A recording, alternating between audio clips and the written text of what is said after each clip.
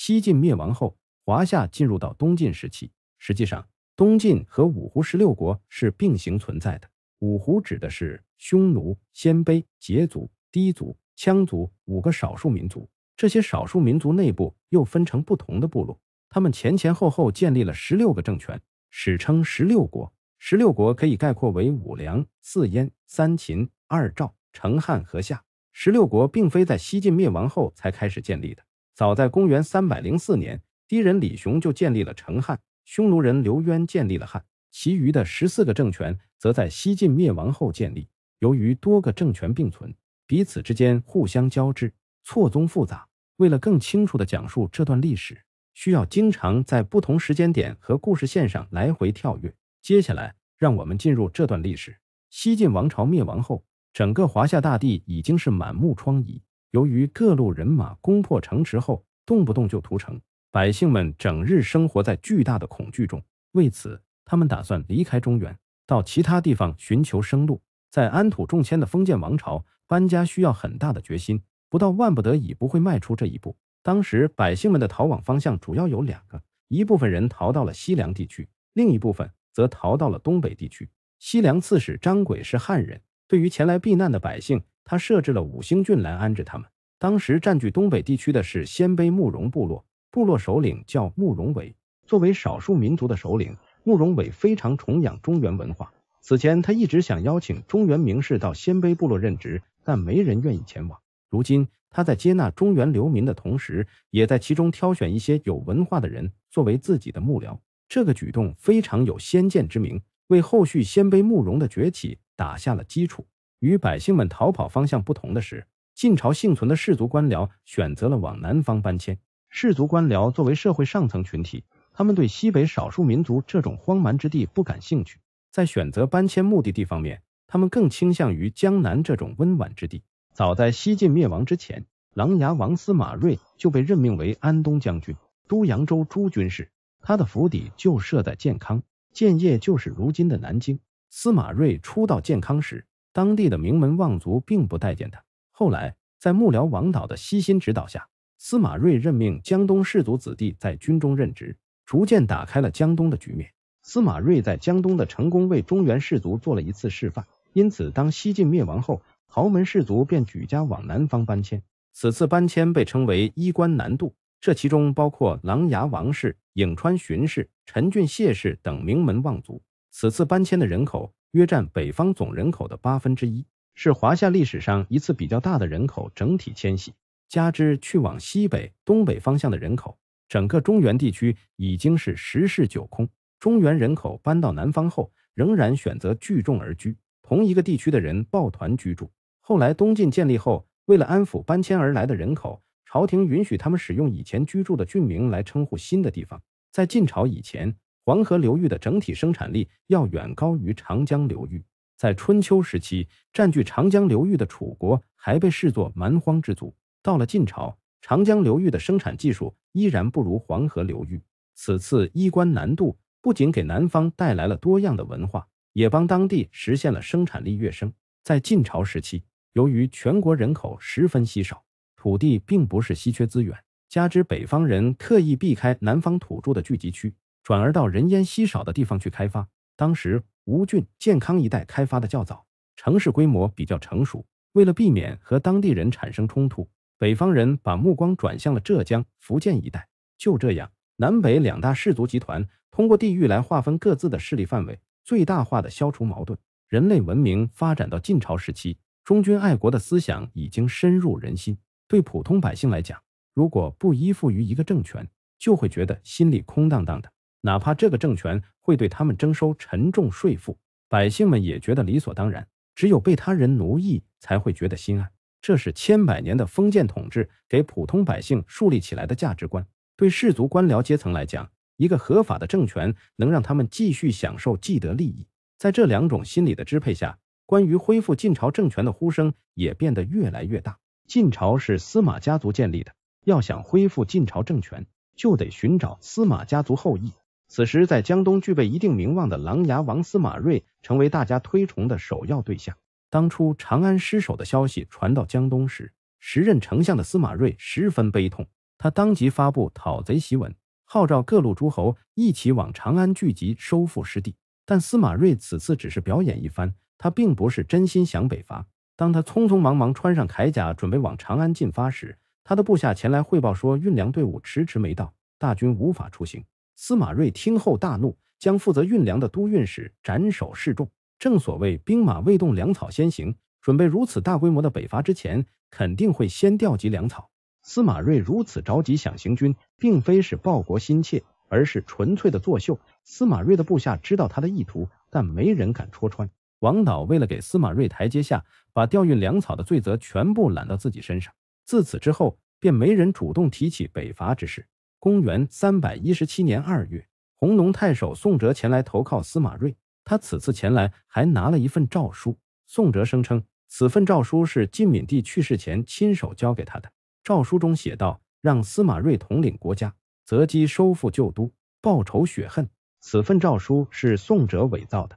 当初汉赵军队攻打弘农郡时，宋哲为了保命弃城而逃。他为了掩饰逃跑行为，伪造了一份诏书前来投奔司马睿，声称是为了送诏书而不得不弃城而走。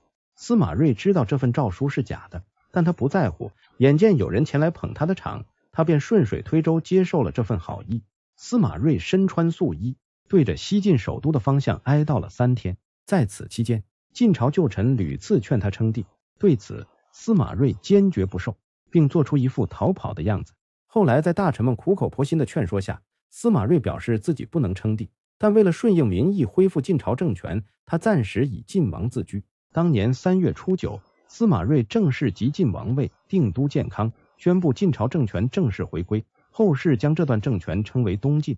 国家刚刚成立，最重要的事情便是休生养息。为此，司马睿下令大力发展农业，军队暂时停止对外征战，将精力放在耕种上。司马睿通过一系列举措，暂时稳定住了局面。当司马睿即晋王位的消息传到西北刘琨和幽州太守段匹敌那里后，刘琨当即表示全力支持司马睿，并派自己的外甥温峤到建康给司马睿送了一封一百八十人的联名表奏。刘琨在表奏中劝司马睿称帝，但司马睿并未接受，继续以晋王身份执政。但司马睿内心对做皇帝一事是非常渴望的，之所以没有称帝，是因为当时晋敏帝只是被俘虏，依然在世。如若贸然称帝，则会被人授以画饼。公元三百一十七年十二月二十日，在汉赵皇帝刘聪的折磨下，年仅十八岁的晋敏帝在平阳去世。次年三月，晋敏帝遇害的消息传到了建康，司马睿听后痛哭流涕，他穿着素衣，对着晋敏帝遇害的方向哀悼。司马睿是否为晋敏帝的去世悲伤，不得而知，但晋敏帝的去世为他称帝扫除了障碍。三天之后，司马睿结束了哀悼，然后登基为帝，史称晋元帝。司马睿能成功登基，离不开王导的帮助。王导和堂兄王敦是琅琊地区的名门望族，古琅琊是现在的山东省临沂市，诸葛亮的故居沂南县便隶属于临沂市。琅琊王氏的开创者是西晋时期的王祥，著名的成语典故“卧冰求鲤”便来自王祥。王祥后来在西晋担任太保一职。王导是王祥同父异母兄弟的孙子，从小就接触达官显贵。当时琅琊是司马睿的封国。王导就是在这个时期结识司马睿的。后来司马睿来到江东后，王导通过左右逢源说服了江东地区的世家大族，让他们支持司马睿，这才使得司马睿在江东站稳了脚跟。基于这层关系，司马睿对王导十分重视，已经超越了普通的幕僚关系，更像是萧何和刘邦之间的关系。王导的堂兄王敦凭借在军事方面的才能，被司马睿重用，都督六州军事。整个东晋的兵权都在王敦手中。此时的王导、王队在东晋朝堂上呼风唤雨，当世称王氏兄弟与司马睿之间是王与马共天下。让我们把目光转到另一边，作为少数民族建立的政权，汉赵虽然极力向中原文化靠拢，但时常会露出蛮族的荒诞。汉赵皇帝刘聪登基后，行为方面缺乏约束，便彻底放飞了自我。单太后是刘渊第二任皇后。他去世时，单太后依然年轻，加之颇具姿色，遂引起了刘聪的垂涎。不久后，刘聪就与单太后厮混在一起。虽然刘聪对宫中内侍三令五申不许他们泄露消息，但世间没有不透风的墙。刘聪与单太后厮混一事，很快传到刘毅耳朵里。刘毅是单太后的儿子，当初太子刘和被杀后，刘毅作为嫡长子，比刘聪更具备继承资格。但因刘聪手握兵权，刘毅不得不放弃皇位。刘聪登基时立刘毅为皇太弟，并承诺待刘毅长大后会还政于他。如今刘聪不但没有还政的意思，还霸占单太后，这让刘毅非常难堪。刘毅不敢制造刘聪。于是便指责自己的母亲单太后，用汉人的伦理道德把单太后批评的体无完肤。单太后自知羞愧，她无法面对刘毅的指责，又摆脱不了刘聪的控制，后来自杀身亡。单太后的死让刘聪对刘毅产生了愤怒，只是碍于形势，没有废掉刘毅的皇太帝身份。此时，刘聪已经册立刘灿为皇太子。虽然刘毅的皇太帝身份只是一种摆设，但刘灿觉得他的存在对自己是一种威胁。一旦刘聪去世，刘毅就能以皇太帝的身份出来竞争。为了稳固自身位置，刘灿决定除掉刘毅。刘灿的母亲呼延皇后经常在刘聪耳边吹风进谗，让他废掉刘毅。刘聪知道刘毅是一个潜在威胁，在呼延皇后等人的挑拨下，刘聪决定伺机对刘毅动手。刘毅的舅舅单冲察觉到刘聪的态度变化，他让刘毅辞去皇太帝的位置，以免遭受杀身之祸。刘毅觉得。单冲是在捕风捉影，他不想失去竞争皇位的机会，便没同意。此时，太傅崔伟和太保许霞等几个重臣也察觉到事情不妙，他们一直拥立刘毅，于是建议刘毅先下手为强。当初刘聪立他为皇太帝，只是做做样子，根本没打算传位于他。如果不趁机发动政变，杀死刘聪，将来只会性命不保。刘毅性格比较懦弱，他一听要发生流血事件，瞬间打了退堂鼓。并斥责崔伟等人不可再提及此事。就在刘毅犹豫之际，刘聪安插在他身边的细作将刘毅密谋之事告诉了刘聪。刘聪得知后大怒，立刻将崔伟和许霞处死，并将刘毅软禁在宫中。正所谓一将无能，累死三军。刘毅想竞争皇位，但又不具备霹雳手段，想凭借一个皇太帝的虚名来和别人的刀枪博弈，结果事情不成，身边亲信也受到连累。处理完刘毅的事情后，刘聪又沉溺于后宫淫乱，朝政大事都交给太子刘灿处理。时任中护军的靳准和刘毅有矛盾，他见刘毅被软禁，便去劝说刘灿将其除掉。对刘灿来讲，只要刘毅不死，就始终对他的皇位产生威胁。在靳准的劝说下，他决定对刘毅动手。公元三百一十七年，刘灿收买了刘毅的亲信，让他前去告诉刘毅，说是平阳城内发生叛乱，让他穿上铠甲出城躲避。刘毅没有怀疑自己亲信，当即穿上铠甲，带着武器出门。与此同时，刘灿禀报刘聪说，刘毅准备谋反，现已穿盔甲，准备动手。刘聪听后大怒，当即派人前去抓捕刘毅。刘毅被捕时还不知道这一切都是刘灿的阴谋。刘毅被抓后，靳准亲自审讯，他用惨无人道的手段折磨刘毅等人。终于，刘毅的臣子眼睛都被挖了出来。最终，刘毅被迫承认谋反。刘聪下令将东宫人员全体坑杀，总计一万五千人。之前被刘灿收买的刘毅亲信也被杀死。这也说明叛徒的下场一般都会很惨。刘毅的母亲单太后是氐族部落首领的女儿，眼见刘毅被杀，氐族联合羌族集结大军前去讨伐汉赵。刘聪派靳准为前去平叛。靳准虽然心思不正，但具备一定的军事才能，他很快平息了这场叛乱。无勇无谋的刘毅成为政治斗争的亡魂。平息完叛乱后，刘聪继续沉溺于后宫。此时的刘聪已经不满足于从民间选美，而是直接从大臣身上下手。他先是将大臣刘英的四个孙女和两个女儿同时纳入宫中，又将靳准的两个女儿靳月华和靳月光封为上皇后和右皇后。后来又把宦官中常侍的养女们纳入宫中，封为左皇后和中皇后。刘聪执政时一共封了八位皇后。华夏历史上的昏君有很多，刘聪是封皇后最多的。这八位皇后就像抽水机一样，不断榨干着刘聪的身体。在他们的摧残下，任何补品都无济于事。公元三百一十八年七月，刘聪终于倒下了。他自知时日无多，临终前任命刘耀为丞相，任命石勒为大将军，让他们进京前来辅政。但石勒和刘耀选择留在封地，坚决不进京城。无奈之下。刘聪又任命了五位辅政大臣，让他们轮流执政。此前平乱有功的靳准被任命为大司空，兼任司隶校尉，手里握有重兵。安排完人事任命后，没过几天，刘聪便撒手人寰，结束了荒淫的一生。刘聪死后，太子刘粲继位。刘粲登基后，延续了父亲的光荣传统，在淫乱方面更胜父亲一筹。在为刘聪扶丧期间，刘粲就和皇太后靳月华厮混在一起。时年不满二十岁的靳月华，成功将刘聪父子俘虏在石榴裙下。靳准眼见自己的女儿如此有手段，并萌生了废掉刘粲、自立为王的想法。为了让刘粲听从指挥，靳准让自己的两个女儿在刘粲面前进献谗言。说刘聪留下的辅政大臣打算拥立刘粲的弟弟刘季为皇帝。此时的刘灿已经被靳氏姐妹迷得神魂颠倒，他当即下令处死了大司马刘季等一干人等。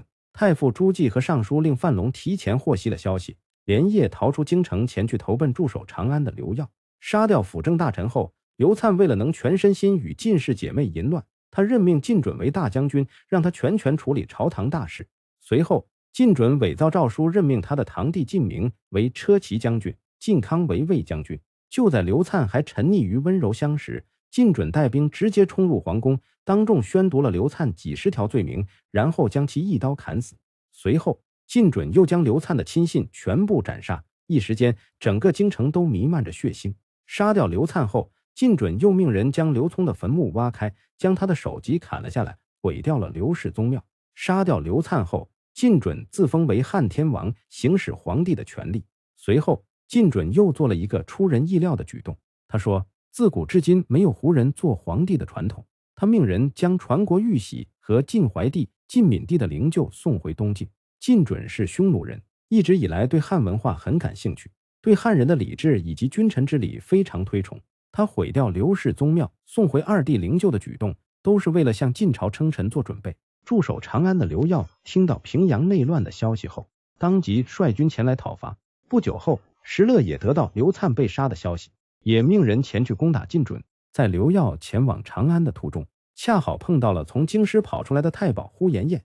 呼延晏告诉刘耀，平阳城内的刘氏皇族已经全部被杀。他劝刘耀即刻登基称帝，延续汉赵政权。刘耀没有过多犹豫，当即登基称帝。为了拉拢石勒，他任命他为大司马。同时加九锡，并封他为赵公。眼见刘耀和石勒同时来征讨，靳准自知不敌，便萌生了投降的心思。由于靳准在政变的过程中杀死了刘耀的母亲和哥哥，如果向刘耀投降，肯定是死路一条。此时的石勒虽然名义上还效忠于汉赵，实际上已经自立山头，于是他打算向石勒投降。为此，他派出自己的使者前去乞降，但石勒并未答应靳准的投降。反而把前来请降的使者抓起来，送到了刘耀跟前。石勒此举是想让刘耀明白，靳准怕的是石勒，并非刘耀。刘耀知道石勒的用意，他告诉靳准的使者，如果靳准是真心归降，等他入城后，会把朝堂大事全部交给靳准处理。说完，便把使者放了回去。使者回到平阳后，把刘耀的话原封不动地告诉了靳准。靳准不是傻子，他知道刘耀只是缓兵之计。以刘耀的性格。不可能放过靳准的杀母之仇。就在靳准犹豫之际，以靳康、靳明为首的将领急于向刘耀投降，于是杀死了靳准。当初靳准一手将他们两人提拔上来，没想到最后却成为自己的掘墓人。杀死靳准后，靳明等人向刘耀投降。石勒得知靳明投降的消息后大怒，他带领自己的侄子石虎对平阳展开了凶猛的攻击。石勒和石虎都是猛将，在他们的强大攻势下。晋明不敌，便带领士兵们弃城而逃，转而前去投奔刘耀。刘耀见晋明守城失败，命人将晋氏宗族全部斩杀，为刘氏皇族报了仇。刘耀的这个行为也说明，此前答应晋准投降只是一个谎言。当时的晋准面临的是一个死局。石勒攻破平阳后，为刘渊和刘聪修整了墓地，毕竟当初刘渊对他有恩。随后，石勒命人对整个皇宫洗劫一空，临走前将皇宫付之一炬。随后带着战利品回到了襄国。刘耀见平阳城已经成为一片废墟，便将都城迁往了长安。此前刘渊建立的政权被称为汉，刘耀迁都后改国号为赵，后世将刘耀建立的这段政权称为汉赵，也称作前赵。相较于刘渊时期的疆域，此时的汉赵仅剩下关中、弘农郡、上洛郡、河东郡等地。成为皇帝后，刘耀封晋惠帝司马衷的遗孀杨宪荣为皇后，封刘熙为太子，刘产为太原王，刘袭为长乐王。这三人都是杨宪荣与刘耀所生。杨宪荣出身于名门望族，长得国色天香。当时为了政治联姻，嫁给了智障皇帝司马衷。后来经历多次宫廷政变，人生经历了多次大起大落。此时的杨宪荣已经是一个政治智商非常成熟的女人。刘耀曾经问杨宪荣，她与司马衷相比如何？杨宪荣告诉刘耀，司马衷是亡国之君，而刘耀是开国之君，司马衷不足以与他相提并论。在遇到刘耀之前，他从未见过如此雄伟的大丈夫。这番话听得刘耀神清气爽。对男人来讲，征服绝色女人带来的成就感，不亚于建立一个国家。刘耀虽然非常残暴，但他并不是一个莽夫。作为一个少数民族，他精通汉族的书法，还比较擅长写文章，可谓是文武全才。成为皇帝后，刘耀还在继续拉拢石勒。他派人倒想过加封他为赵王，并赐给他皇家专用的马车。为了留住石勒，刘耀几乎倾尽了一切。就差把皇帝之位拱手相送，对此石勒也并未拒绝。他派长史王修到长安前去答谢。这本来只是走个流程，但随王修一同前往长安的曹平乐被长安的繁华所折服，他想留在长安为官，不想跟随王修回相国。曹平乐为了能够留在长安，他上书刘耀说，王修此次前来是为了探查长安的虚实，待他返回相国向石勒汇报后，就会派兵前来攻打。刘耀虽然是文武全才，但他手下的人才非常匮乏，否则也不至于对石勒如此拉拢。在石人看来，石勒迟早会自立门户，刘耀对此也心知肚明，只不过想尽量拖延与石勒为敌。曹平乐的话让刘耀觉得石勒想先下手为强，于是果断杀死了王修，并给予曹平乐高官厚禄。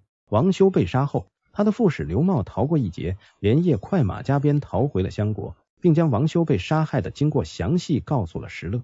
石勒听后大怒，命人杀了曹平乐三族，然后当着众人的面表示刘耀能称帝，离不开他的支持。石勒的侄子石虎和首席谋臣张斌知道他有称雄之心，便趁机劝他称帝。对此，石勒并未答应。后来在众人的劝进下，石勒效仿曹操，自称大将军兼冀州牧。公元三百一十九年十一月，石勒正式登基为赵王。石勒建立的这个政权被称为后赵，后赵也是五胡十六国时期第三个建立的政权。石勒登基后，任命张斌为百官之首，石虎为单于元辅，负责皇城的禁卫军。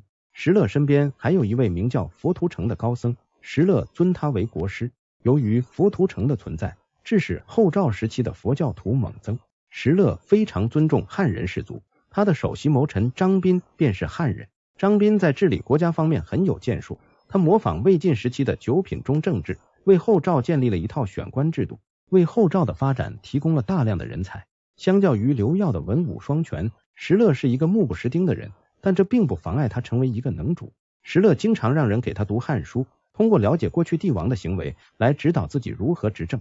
石勒是胡人出身，因此非常忌讳胡子，所以后赵的政府公文中一律严禁出现胡子。当初张骞出使西域时，把黄瓜引进了中原。因为从少数民族引入，遂将这种瓜称作胡瓜。为了避讳石勒，后赵将胡瓜改为黄瓜，这便是黄瓜名字的由来。在五胡十六国时期，鲜卑是一个存在感很强的民族。鲜卑内部又分为慕容部、宇文部、拓跋部、乞伏部、突发部、段部和吐谷浑。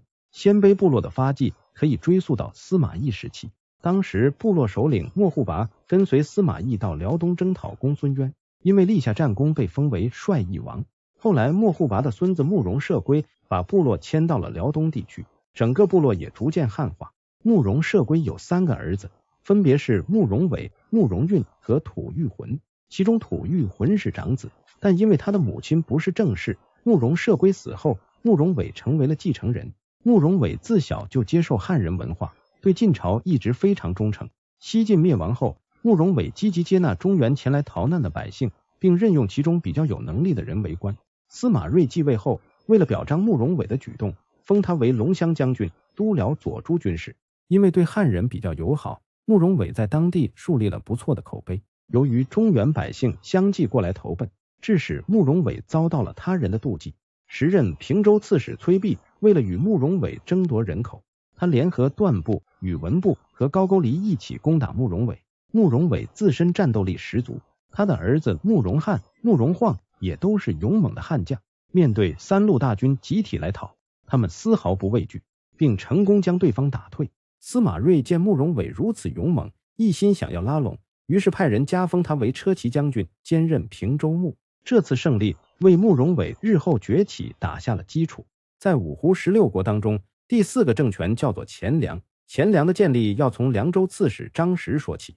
当长安沦陷，晋闵帝被俘后，南阳王司马宝也打算称帝，但张实觉得司马睿的血统要比司马宝更加正统，于是遥尊司马睿为帝。并坚守凉州这片区域。生逢乱世，各种旁门左道的人都会倾巢而出。当时在凉州境内有一个善于旁门左道的人，名叫刘宏。凭借一些江湖戏法，刘宏将自己包装成神仙下凡。一些不明真相的百姓被他麻痹。经过口口相传之后，刘宏逐渐被神化。追随他的信众多达上千人，这其中就有长史的下属帐下都严赦和衙门将赵养。刘宏眼见自己的信众越来越多，便萌生了一个大胆的想法。他想在凉州称王，于是他告诉自己的信众说：“他受到上天的旨意，让他统领凉州。”严赦和赵养对刘宏的话深信不疑，并主动提出杀掉张实，拥立刘宏为主帅。严赦等人密谋杀害张实的事情被张实的弟弟张茂得知，他立刻将消息告诉了张实。张实派部将史初前去捉拿刘宏。史初领命后，直奔刘宏的住处。就在此时，严赦等人趁史初离开，来到张实的住所，将其杀死。史初抓到刘宏后，直接将其五马分尸。眼见刘宏被大卸八块，他的信徒才明白他根本不是所谓的神仙。随后，史初又带人将刘宏的党羽全部诛杀。但刘宏的死并未让张实死而复生。凉州是一个战略要地，不能一日无主。后来，在众人的推举下，张茂继承了张实的位置。公元三百二十年六月。张茂正式接任凉州刺史，并自称西平公。此时的凉州名义上还归晋朝管辖，实际上已经是一个独立的政权。后来张茂建立了梁国，史称钱梁。当初司马睿听闻晋敏帝被俘的消息后，曾假装起兵前去攻打长安，但这只是一场作秀。司马睿从未想过北伐救国，但并非所有人都喜欢作秀。西晋旧臣祖逖听闻长安陷落的消息后，便积极的招兵买马。为北上光复中原做准备。祖逖出身于名门望族，他的祖辈一直都在朝中为官，而且官职都不小。但祖逖从小失去父母，成长之路颇为艰辛。成年后的祖逖结识了刘琨，两人为了相互鼓励，每次天还未亮，听见鸡叫后就起床练功。闻鸡起舞的典故就出自于此。后来，祖逖投到司马囧门下，并积极为司马囧出谋划策。司马囧在八王之乱中被杀后，他转投到长沙王司马懿的手下任职。没过多久，司马懿被杀，他又到司马炽府中做事。后来他又辗转为司马颖、司马衷等人效力，结果这些人都不是能主，祖逖未能实现自己的抱负。司马睿登基后，他派人将祖逖寻来，并任命他为徐州刺史。至此，祖逖算是在朝堂上站稳了脚跟。站稳脚跟的祖逖多次上书司马睿，请求北伐。此时的东晋刚刚建立，国本十分虚弱，根本无力北伐。但司马睿又不能拒绝祖逖的请求，于是拨给他一千人的口粮和布匹，让祖逖自行去招募士兵。祖逖知道国库空虚，他拿着这些物资，带着自己一百多名旧部北渡长江。当船在长江上行至一半时，祖逖拿起船桨，用力拍打船只，然后对着长江发誓，一定要光复晋室。他的部下被他的豪情所感染。纷纷表示愿意为国捐躯。祖逖的这个举动也是成语“积极中流”的来源。不得不说，祖逖在制造成语方面还是比较有天赋的。后来，祖逖招募了两千多人，一路向北进发，并成功拿下了谯城，进入了后赵的地盘。石勒听闻祖逖占领谯城后，派石虎前去围攻。祖逖向中郎将王涵求助，王涵派桓宣前来相助。桓宣与祖逖内外夹击。将石虎打得大败。祖逖见桓宣如此勇猛，遂上书司马睿，让其做了谯国太守。石勒首战被祖逖打败，内心十分不甘。随后，他又派石虎和陶豹前去阻击祖逖。陶豹是一员猛将，在他的率领下，后赵军队和祖逖形成了对峙之势。就在双方势均力敌之时，祖逖派人截断了陶豹的粮道，致使陶豹败退而归。陶豹败退至东燕城后，祖逖并未放弃追击，继续派人前去骚扰后赵边境。后赵将士们见识过祖逖的实力后，不少人前来投降。一时间，后赵面临着很大的压力。后来，祖逖又派人前去联络留在中原的晋朝旧将，告诉他们现在是亡国灭种之际，让他们放弃内斗，共同来对付入侵的胡人。身处乱世，硬实力最重要。晋朝旧将见祖逖一路奏凯，便同意接受他的指挥。当初祖逖从一个几百人的小队伍发展壮大为纵横中原的虎狼之师，这充分体现了他的军事才能和人格魅力。祖逖深知取得现在成绩不易，为了维持当前的局面，他在对待下属的时候表现得非常大度。只要有人取得了军功，当即就为他们请赏，绝不故意拖延。将士们在祖逖的带领下，士气达到了空前的高涨。祖逖乘胜追击，很快将黄河以南的地盘收了回来。公元三百二十年七月，司马睿为肯定祖逖的功劳，加封他为镇西将军，兼任豫州刺史。石勒见祖逖如此势不可挡。便打算与其和谈。为了表示诚意，石勒命人修葺祖逖的祖坟，并派专人守护。石勒派人向祖逖谈判，希望双方能停止干戈，并放开边境贸易。由于祖逖和石勒是敌对关系，他表面上并不同意通商贸易，暗地里却默许这种行为，进一步增强经济实力。双方在对峙的过程中，祖逖和石勒逐渐形成了默契，双方互不收留对方阵营前来投降的人。也不主动挑起战事，在这段时期里，边境百姓得到了难得的喘息之机。就在祖逖在前线不断取得胜利之际，东晋大后方出现了不安定因素。司马睿能在江东称帝，王导和王敦兄弟两人功不可没。王导为人比较低调，凡事以大局为重，而王队为人嚣张跋扈，凭借自己的军功在朝堂上呼风唤雨，甚至直接绕过司马睿自主任命州郡官员。对于王敦的行为，司马睿非常不满，但碍于王敦手握重兵，才隐忍不发。为了削弱王敦的朝堂上的势力，司马睿逐渐提拔他人来制衡王家。对于司马睿的举动，王导选择了隐忍，而王队则公开表达了不满。他多次借着酒醉说大逆不道之言。后来，王队和司马睿之间在人事任命方面展开了博弈。司马睿借王敦尚未造反之际。逐渐往核心岗位上安插自己的亲信。与此同时，司马睿还不断架空王导。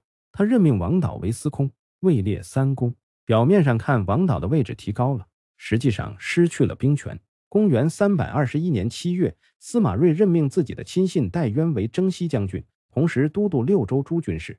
司马睿此举确实起到了牵制王敦的作用，但也给祖逖带来了极大的伤害。黄河以南的领土是祖逖白手起家打下来的，他在这里倾注了全部心血。司马睿的任命直接让戴渊成为了祖逖的顶头上司，祖逖取得的成就都被算在戴渊头上。对此，括祖逖在内的禁军将士十分不满。加之司马睿与王敦内斗加剧，祖逖感到一场内乱即将爆发，这让他的北伐大业化为泡影。不久之后，祖逖急火攻心，在遗憾中失去。享年五十六岁。祖逖死后，豫州百姓一片痛哭，纷纷为其悼念。乔国和梁国百姓都为他建立祠堂来纪念他。祖逖去世后，司马睿委任祖逖的弟弟租约接任豫州刺史的位置，统领祖逖生前的军队。祖逖的去世不但打破双方边境之间的和平，也让王敦更加肆无忌惮。此前，王队一直忌惮祖逖的能力和声望，不敢在朝中过于放肆。如今，见祖逖已死，便萌生了起兵反叛的念头。公元三百二十二年正月十四，王队以清君侧的名义在武昌起兵，宣布要诛杀司马睿的亲信刘伟和刁协。司马睿得知王敦起兵的消息后大怒，他急召各路诸侯前来擒王。襄州刺史司马承得知消息后，第一时间宣布擒王。此时，王敦正在全力拉拢凉州刺史甘卓。甘卓和幕僚经过几天几夜的讨论后，最终决定。加入秦王的队伍。与此同时，甘卓还力邀广州刺史陶侃共同发兵秦王。陶侃随后派出自己的参军前去支援。一时间，王队和司马睿势成水火，双方必须分出生死。此时，王敦的弟弟王导还在京城。司马睿的亲信刘伟和刁协向司马睿提议，把京城内王氏家族全部诛杀。王导听闻此事后，带着家族子弟来到朝堂上，请司马睿治罪。王导说：“各朝各代都有乱臣贼子，他没想到自己家族也会发生这种事情。”司马睿知道王导的为人，他不但没有治他的罪，还命王导为前锋大都督，前去讨伐王敦。此时的王队兵强马壮，在他的率领下，大破前来秦王的军队，一路攻城拔寨，顺利拿下了石头城。石头城在建康以北，拿下石头城后，几乎相当于拿下了建康。司马睿见大势已去，便派人告诉王敦，如果他此时罢兵，则相安无事；如果王敦执意要夺取皇位，他愿意退位让贤，回到自己的封国琅琊。随后，司马睿让身边的大臣收拾行李逃跑。不要做无谓的牺牲。刘伟眼见大势已去，收拾行李跑到了后赵，投靠了石勒。刁协在逃亡的途中被王敦截杀，而其他大臣都不愿意身背骂名，决定留下与司马睿共存亡。司马睿不想看建康城生灵涂炭，便率领文武百官主动打开城门迎接王敦进城。王敦见刘伟出逃，刁协已经被杀，已经完成了清君侧的目标。如果此时再对司马睿动武，恐怕背上篡位的骂名，便没有为难司马睿。此次叛乱过后，司马睿任命王队为丞相，都督中外军事。至此，王队成为东晋首位权臣。王敦掌权后，任命司马样为太宰，王导被任命为尚书令。除此之外，其他核心岗位都被王敦替换成自己的亲信。通过人事调动，王队进一步把控了朝堂。但此时的王队和司马睿之间已经产生了不可调和的矛盾。王敦担心久居京城会遭遇不测，便率兵回到自己的大本营武昌。返回武昌后，王队派人前去攻打襄州刺史司马承，并将其斩杀。司马承死后，襄州刺史的位置出现了空缺。司马睿想趁机让陶侃兼任，但陶侃并不是王敦的亲信。当初，陶侃还派自己的参军协同秦王部队前去讨伐王敦。对于此次任命，王敦不可能同意，于是他要求司马睿撤回任命。司马睿只能照做。此前，王敦起兵时曾拉拢甘卓，最终甘卓加入了秦王大军。事后，王队也派人将其杀死。至此，王队将自己的政敌全部都清除完毕。随着手中的权势越来越大，王队在做事方面更加肆无忌惮。他不但随意任命朝堂大员，还随意截取各地向朝廷进贡的贡品，直接把皇帝当成了摆设。司马睿本是一个很有抱负的皇帝。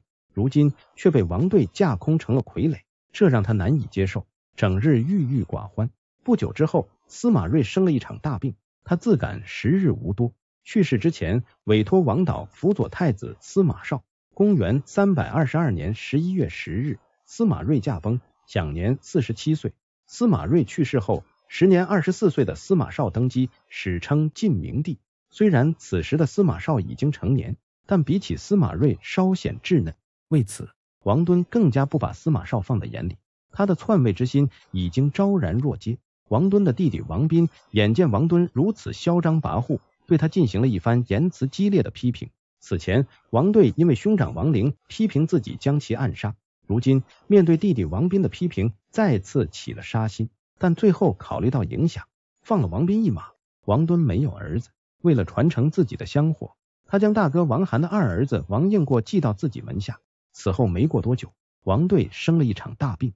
随着病情不断加重，为了以防不测，他任命王应为卫将军，让他做自己的副手，然后任命王涵为骠骑将军，有开府治事的权利。王敦的生病让他的幕僚集团也开始谋划后路。王敦身边的红人钱凤前去讨教王敦，王敦给他们指了三条退路：第一条就是放下兵权，归附朝廷，保全自己的门户；第二条是驻守武昌。拥兵自重，定期向朝廷进贡。第三条则是起兵反叛，建立新的政权。钱凤等人虽然嚣张跋扈，但不是傻子。如果放下武器归附朝廷，非但不能保住性命，还会被诛灭三族。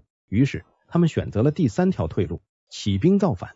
钱凤与其他人商议，只要王队一死，他们立刻起兵杀入京城。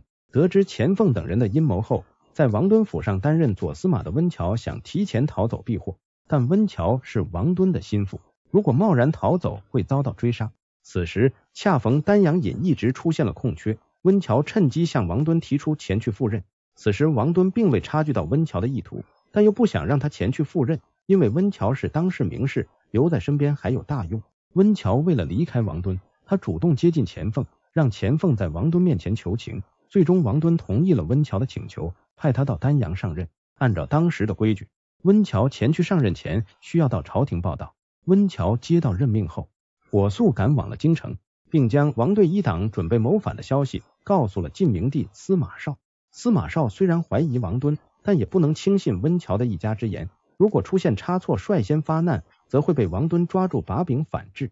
后来经过多方打探，司马绍证实了王敦试图谋反的消息。于是开始加紧军事部署。公元三百二十四年六月，司马绍任命王导为大都督，温峤为都督，率领大军时刻准备应对王敦的叛乱。王导听闻王敦重病的消息后，命王氏子弟为其发丧，制造王敦去世的假象。大家见王导为王队发丧，认为王队已死，遂对他进行了大肆批判。司马绍见时机已到，向全天下发布檄文，罗列了王敦几十条罪行。并号召诸侯前去讨伐王敦的党羽。王敦看到檄文后大怒，愤怒之余，他知道不能再继续等下去，于是当即决定出兵建康。公元三百二十四年七月初一，他任命王涵为主帅，率领五万大军从直奔建康。司马绍得知王敦前来讨伐的消息后，并未慌张，他重金在军中招募死士前去迎敌，重赏之下必有勇夫。鲜卑出身的将军段秀筛选了上千人组成敢死队。对王涵的前锋进行偷袭，致使王涵首战失利。王涵眼见形势不妙，加之建康城城防坚固，王涵选择了撤军。王敦听闻王涵兵败的消息后，口吐鲜血。去世之前，他强忍着精神将王应立为接班人，等他一死，立刻登基。但此时整个势头都在朝廷军队这边，接连遭遇失利后，王涵于七月二十六宣布撤军，随后逃往了荆州。荆州刺史王叔是王敦的弟弟，他派人用船前去接应王涵、王应父子，带船行至江中，士兵们将他们父子二人捆绑起来，投入了江中淹死。钱凤则在逃往的途中被士兵们斩杀，王敦其余党羽也在朝廷大军的围捕下相继被杀。至此，嚣张跋扈的王队一党全部被灭。王敦死后，司马绍命人打开他的棺材，脱去他的衣服，将他的首级砍了下来。挂在朱雀桥上示众。后来，司马绍在西涧的劝说下，允许王氏子弟为其收尸，并对其他王氏子弟网开一面。随着王敦被杀，东晋王朝第一次大规模叛乱结束。但这仅仅是个开始。此后，天下进入到更加混乱的时刻。东晋首位权臣王敦死后，新登基的晋明帝司马绍开始论功行赏。王敦的弟弟王导夺得头功，被晋升为太保，同时享受剑履入殿。入朝不趋、战败不明的待遇。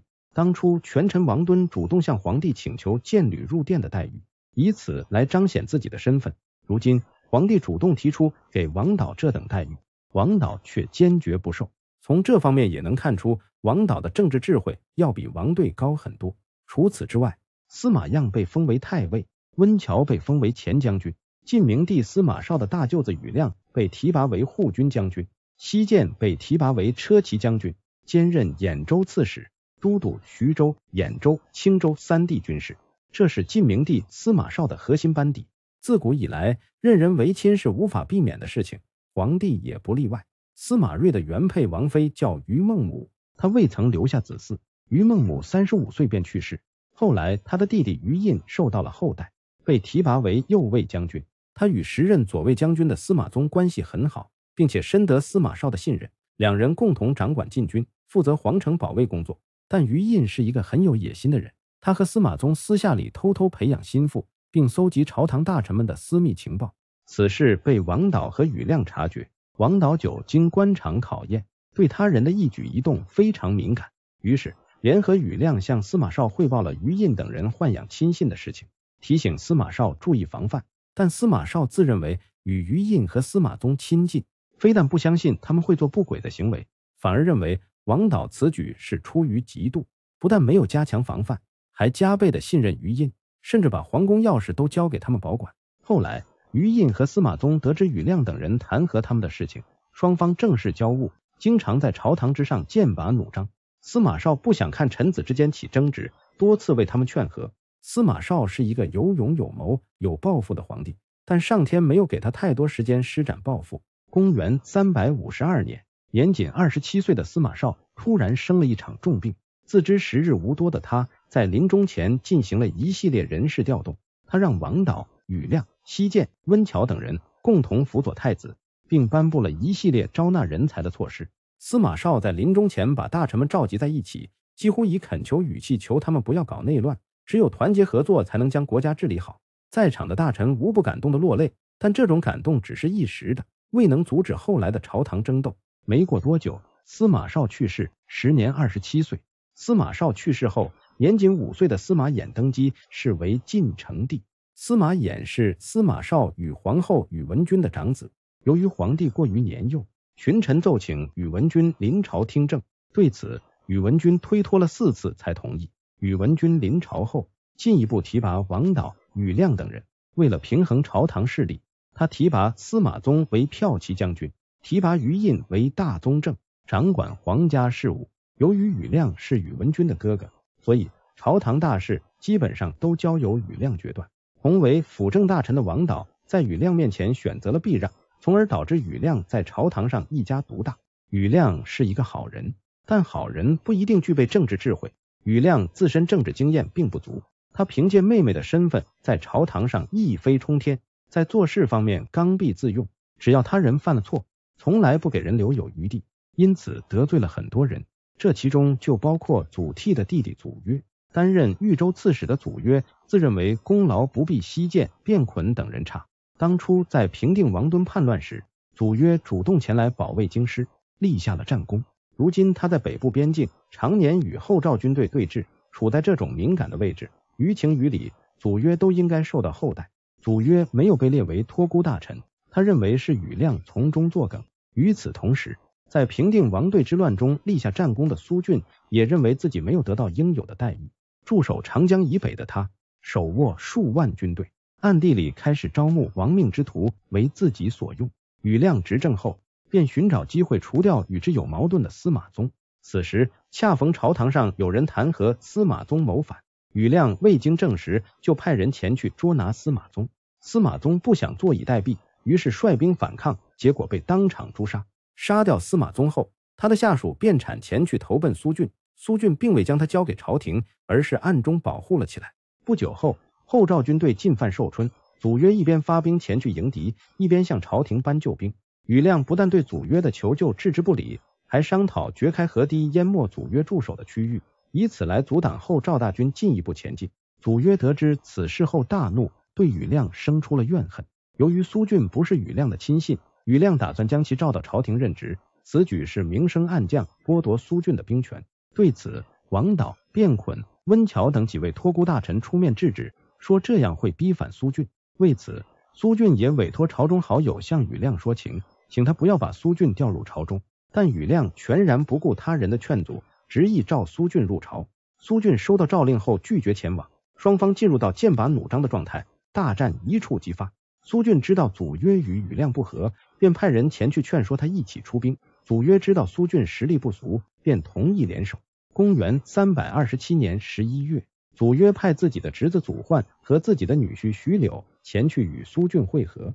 十二月一日，苏峻率领祖焕和徐柳直奔京师，一路攻城拔寨，势不可挡。公元三百二十八年二月初一，苏峻打败卞捆的军队，并成功将其斩杀。除此之外，其他前来秦王的军队都被苏峻杀得大败。庾亮见状不妙，紧急派人加固京城城防，但工匠们见大势已去，没人敢去修建城防。庾亮为了自保，带领兄弟几人弃城而逃。就这样，苏峻顺利攻陷了建康。进城后，苏峻允许士兵们烧杀抢掠，宫中的嫔妃、宫女全都被苏峻掳走。来不及逃走的王公大臣被俘虏后，在军中从事重体力活，稍有不从就会被鞭笞。扫荡完皇城后，苏峻以晋成帝的名义大赦天下，但庾亮兄弟不在赦免范围之内。苏峻任命自己为骠骑将军，祖约被任命为侍中。王导因为名望太高，苏峻依然让他保留官职。太后宇文君没来得及逃跑，依然留在宫中，但他害怕自己被迫害，整日生活在恐惧之中。没过多久便猝死，去世时年仅三十二岁。因为庾亮在政治上的不成熟。导致东晋王室又迎来了一场大灾难。庾亮逃往浔阳后，自称接到太后的诏令，召集温峤、西涧等人前来相助。温峤一直对进士忠心耿耿，此次庾亮落难，他并没有置之不理，反而将自己的一支军队送给了庾亮。此后，温峤又积极为庾亮出谋划策。在温峤的建议下，庾亮推举荆州刺史陶侃为盟主，共同起兵讨伐苏峻。陶侃对庾亮的推举并不感兴趣，相反，两人还有矛盾。之前，陶侃因为没有被列为托孤大臣，耿耿于怀。他也认为是庾亮从中作梗，但陶侃更害怕苏峻一家独大后吞并荆州。出于这种考虑，陶侃决定起兵讨伐苏峻。公元三百二十八年五月，陶侃率军到达浔阳，与庾亮会合。此时的庾亮认识到自己在政治方面的欠缺，当面向陶侃道歉。陶侃见庾亮向自己弯腰，便摒弃前嫌，全力帮助庾亮讨伐苏峻。此次。陶侃总共率领了六万大军，在人口稀缺的东晋时期，六万大军算得上是非常大的规模。苏峻听闻陶侃来讨，强行将晋成帝司马衍带到了石头城避祸。随后，陶侃以盟主身份号令西涧、王叔等人共同向石头城进发。其他诸侯见陶侃来势汹汹，便紧急响应进京擒王。秦王大军看似声势浩大，但因为没有统一指挥权，军队各自为战。相互之间没有协调统一，导致战事初期接连失利，双方在石头城形成了拉锯战。由于秦王军队是远道而来，粮草很快吃紧。温峤向陶侃提出借粮，陶侃担心自身粮草不足，便拒绝了温峤。一时间，秦王军队内部人心惶惶，陶侃也无心恋战。就在此时，祖约的手下私自和后赵串通，后赵派出大将前去进攻寿春，并成功将其拿下。寿春陷落后，祖约率人逃走。此次失败让苏峻部队内部出现了动摇。就在此时，卢将军太守毛宝主动请缨前去偷袭苏峻的粮仓。在毛宝的率领下，他成功烧掉了苏峻后方的粮仓。陶侃眼见胜利有望，便亲率军队对石头城发起了猛攻。后来，陶侃派部将将苏峻引出来单独作战。苏峻是一个莽夫，他主动出城和对方单挑，结果中了埋伏，当场被斩杀。苏峻死后，他的弟弟苏毅接过大旗，退守石头城，打算顽抗到底。而苏峻的手下将领见大势已去，纷纷溃逃。后来石头城被攻破，苏毅被斩杀，逃往溧阳的祖约也被围困。情急之下，祖约带着部下投奔了后赵。本来祖约和后赵是死敌，因为一场内乱成了后赵的臣子。公元三百二十九年二月，秦王军队进入石头城，成功解救晋元帝司马衍。至此，苏峻和祖约发起的叛乱全部被平定。平定完叛乱后，陶侃被加封为侍中，兼任太尉、都督六州军事。西涧、温峤等人也被论功行赏，而庾亮则跪在司马衍面前请求降罪。庾亮只是政治经验不足，为人并不坏。此时的他已经认识到自己的错误，换做一般朝臣，惹出这么大祸乱，避免不了被杀头的命运。但庾亮是司马衍的亲舅舅。司马衍并未责罚他，不但让他官复原职，并给他增加了兵权。在皇帝眼里，庾亮固然有错，但比起庾亮的忠诚，在祸乱中死去的人根本不值一提。就在东晋内部激烈斗争之际，汉赵和后赵之间也开始剑拔弩张。后赵的建立者石勒和汉赵皇帝刘耀本是一个战壕里的好朋友，石勒自立门户后，两家也维持了几年的和平。但一山不容二虎。只要有合适的时机，他们就会撕咬对方。公元三百二十四年三月，司州刺史石生突然对隶属于汉赵的河南郡发起攻击，河南太守尹平被杀。石生将河南郡内五千多户百姓全部掳走。这次事件让刘耀大为恼怒，双方也因此彻底成为仇人。此时的刘耀因为根基不稳，选择了忍气吞声。后来，汉赵附近的羌族前来投靠。汉赵将军石佗趁机前去劫杀，俘获了大量牛羊、帐篷。后赵的持续骚扰让汉赵皇帝刘耀十分愤怒，他派出大将刘越前去迎敌。双方在黄河岸边进行了决战。此役，刘越成功斩杀了石佗，并杀死后赵六千多士兵，缴获各种物资不计其数。后来，刘越又率兵前去围剿石生，斩杀对方五千多人，并将石生围困在金庸城。眼见军队接连失败。石勒派自己的侄子石虎前去迎敌。石虎是一个非常残暴的人，在他的带领下大败刘越军队。兵败后的刘越退守至石梁城，在石虎的围困下，石梁城内粮食吃紧，士兵们后来只能宰杀战马为食。刘耀得知刘越被围困的消息后，发兵亲自率军前去救援。一向自视高傲的石虎，在别人眼里就是一头野兽，但石虎非常害怕刘耀，因为刘耀当初的残暴不亚于石虎。起初，刘耀的军队还算顺利，打退了石虎几波进攻。后来，刘耀大军在金谷驻扎的时候，军队发生了夜惊。夜惊是指即军队在夜间宿营时，因为一些极偶然的事件，如军营中马匹、牲畜的嘶叫声、偶然的响声等，导致沉睡的士兵被惊醒，士兵陷入巨大恐慌和不安的情绪，甚至误认为敌军来袭而发生互相砍杀、四散奔逃的行为。为了安全起见，刘耀不再向前，而是退到渑池驻军。但到达渑池当晚，军队再次出现了夜惊。刘耀认为这是一个不好的兆头，便放弃前去营救刘越，班师回朝。刘耀的撤退让石梁城彻底陷入孤立无援的境地。公元三百二十五年六月，后赵攻陷了石梁城，石虎将刘越在内的八十多位将领以及城内三千多少数民族绑送到了襄国，剩下九千多名汉人士兵全部被活埋。打败刘越后，石虎紧接着挥师北上，很快并攻破了滨州城。石虎在城内如法炮制，除了少数民族将士外，其余七千多名士兵全部被坑杀。后来，颍川、司州等地相继陷落，豫州、徐州、兖州等地也被后赵悉数纳入版图之中。刘耀生平从未遭遇过如此大的失败。此役过后，他急火攻心，生了一场大病。公元三百二十八年七月。石勒派石虎率领四万大军前去攻打汉赵的河东郡。石虎一路攻城拔寨，直逼长安的门户蒲坂。此时的刘耀已经从失利的阴霾中走了出来，他举全国精锐前去迎敌。眼见刘耀亲自来讨，石虎心生畏惧，不战而逃。刘耀全力追击，试图一雪前耻。后来两军相遇，刘耀将石虎打得大败，石虎的养子石瞻当场被斩杀。石虎力拼杀敌，才得以逃脱。石瞻本名叫冉良，被收养后改名为石瞻。大家熟知的冉闵就是冉良的儿子。此役刘耀取得了大胜。此前石虎缴获的物资全都尽归刘耀之手。事后，刘耀还命人将后赵士兵的尸体头脚相连摆放在地上，总共摆放了上百里。刘耀用这种方式来震慑后赵军队。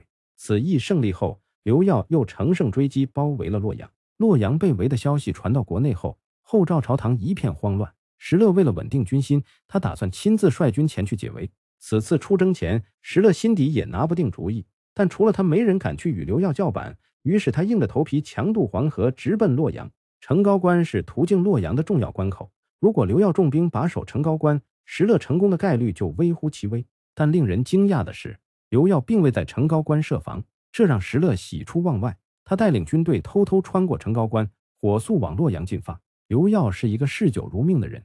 在围困洛阳期间，他整日和近臣们饮酒作乐，没有把士兵们汇报的军情当回事。当石勒率领大军前来时，他才猛然清醒。此时，刘耀手下有十万大军，石勒有六万大军。从迎面上来看，刘耀仍占据优势。但刘耀在战前喝得酩酊大醉，战斗的时候指挥一团糟，被严阵以待的石勒打得大败。刘耀也被石勒的手下石堪活捉。刘耀被活捉后。汉赵军队彻底失去了主心骨，如无头苍蝇般乱窜，最终被斩杀五万多人。石勒见刘耀被抓，便下令停止屠杀，给幸存的士兵们一条生路。此役刘耀身负重伤，石勒命人将他带上马车，并安排御医相随。回到襄国后，石勒将他安排在永丰城。为了防止刘耀寂寞，石勒挑选了几名美女，让其消遣寂寞。石勒之所以如此善待刘耀。是想让他写信给留在汉赵的太子刘熙，劝其献城归降。而刘耀不但没有劝降，反而让刘熙坚守国家，不要因为他的生死改变主意。石勒看到信后大怒，随后杀掉了刘耀。当时刘耀的死讯还未传到长安，刘熙听闻刘耀被捉后，吓得不知所措。他和弟弟刘印商讨后，决定弃城而逃。刘熙逃走后，石勒派人占领了长安。后来，刘印听闻父亲的死讯。带领两万人前来攻打长安，结果拜石虎打得溃败。作为报复，石虎也将汉赵士兵的尸体头脚相连排在一起。公元三百二十九年九月，石虎乘胜追击，在上邦生擒了刘熙、刘印以及数千名王公大臣，随后将他们全部坑杀。立国二十六年的前赵宣布灭亡。灭掉汉赵后，氐族和羌族十五万户百姓尽归后赵之手，汉赵的地盘也被后赵纳入版图。吞并汉赵后，汉赵成为了中原霸主。公元三百三十年二月，石虎率领文武百官集体表奏石勒登基称帝。此时的石勒没有过多推辞，择日选择称帝。石勒登基后，封自己的大儿子石弘为太子，二儿子石弘被封为秦王，加封大单于。小儿子石辉为辅国将军，石虎则被任命为太尉，加封中山王。石虎的儿子石斌被封为太原王。除此之外，其他有功之臣都得到了封赏。此次封赏过后，大臣们都很满意，而石虎则相当不满，甚至心生怨恨。石虎自认为是后赵的首功之臣，为石勒鞍前马后立下大功，而石勒在封赏的时候，却将象征匈奴部落首领的大单于封号给了战功平平的秦王石弘。这让他非常生气。为此，石虎私下对儿子石岁说：“等石勒驾崩后，他一定不会给石勒留后。”分封完众人后，石勒在安西将军姚义仲和尚书右仆叶逞侠的建议下，将此前兵败前来投奔的祖约杀掉，以此来警示大臣们不能做出投敌之事。祖约死后，石勒将他的妻女分给将士们享用。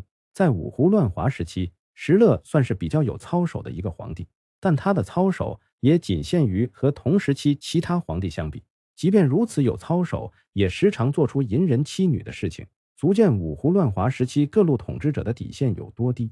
后来，石虎将他的手脚砍去，让他体验痛不欲生的感觉。待他的疼痛散去，石虎又命人将其斩首。杀掉石朗后，石虎又掉头前去攻打长安。经过惨烈的战斗后，石虎拿下了长安，但他的儿子石挺在战斗中被杀。石生在城池失守前弃城而去，在逃亡的路上被部下所杀。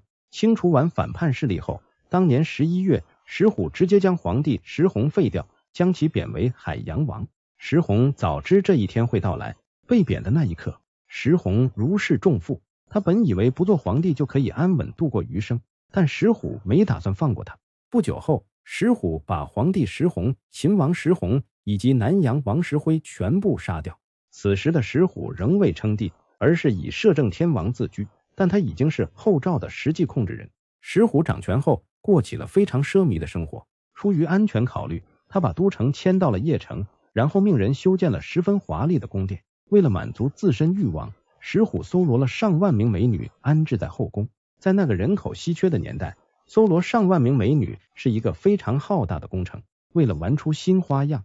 石虎教宫中的美女学习骑射之术，并组建了一支规模上千人的女子仪仗队，以此来刺激他的感官。尽管石虎非常残暴，但他对国师佛图澄十分敬重，甚至把他当作神灵一样供奉起来。遇到难以决断的事情，都会事先向他请教。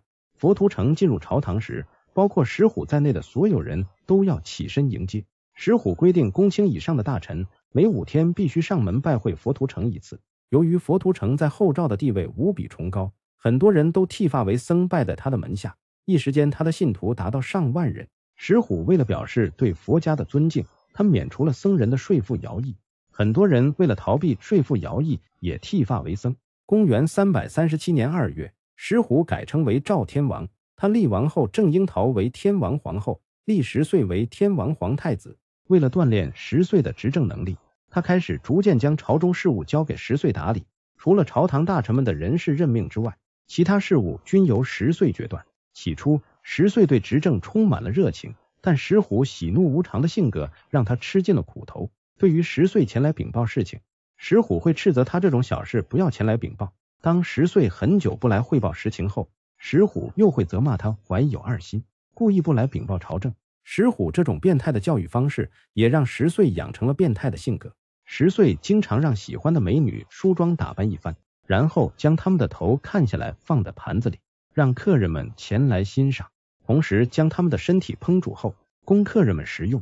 这种变态至极的做法，放在人类任何一个时期都是令人发指的。十岁的弟弟石轩和石涛趁机在石虎面前进献谗言，使得石虎对十岁越来越冷落。此时的十岁已经感觉到危机，他打算弑父夺位。但因计划不周，泄露了消息。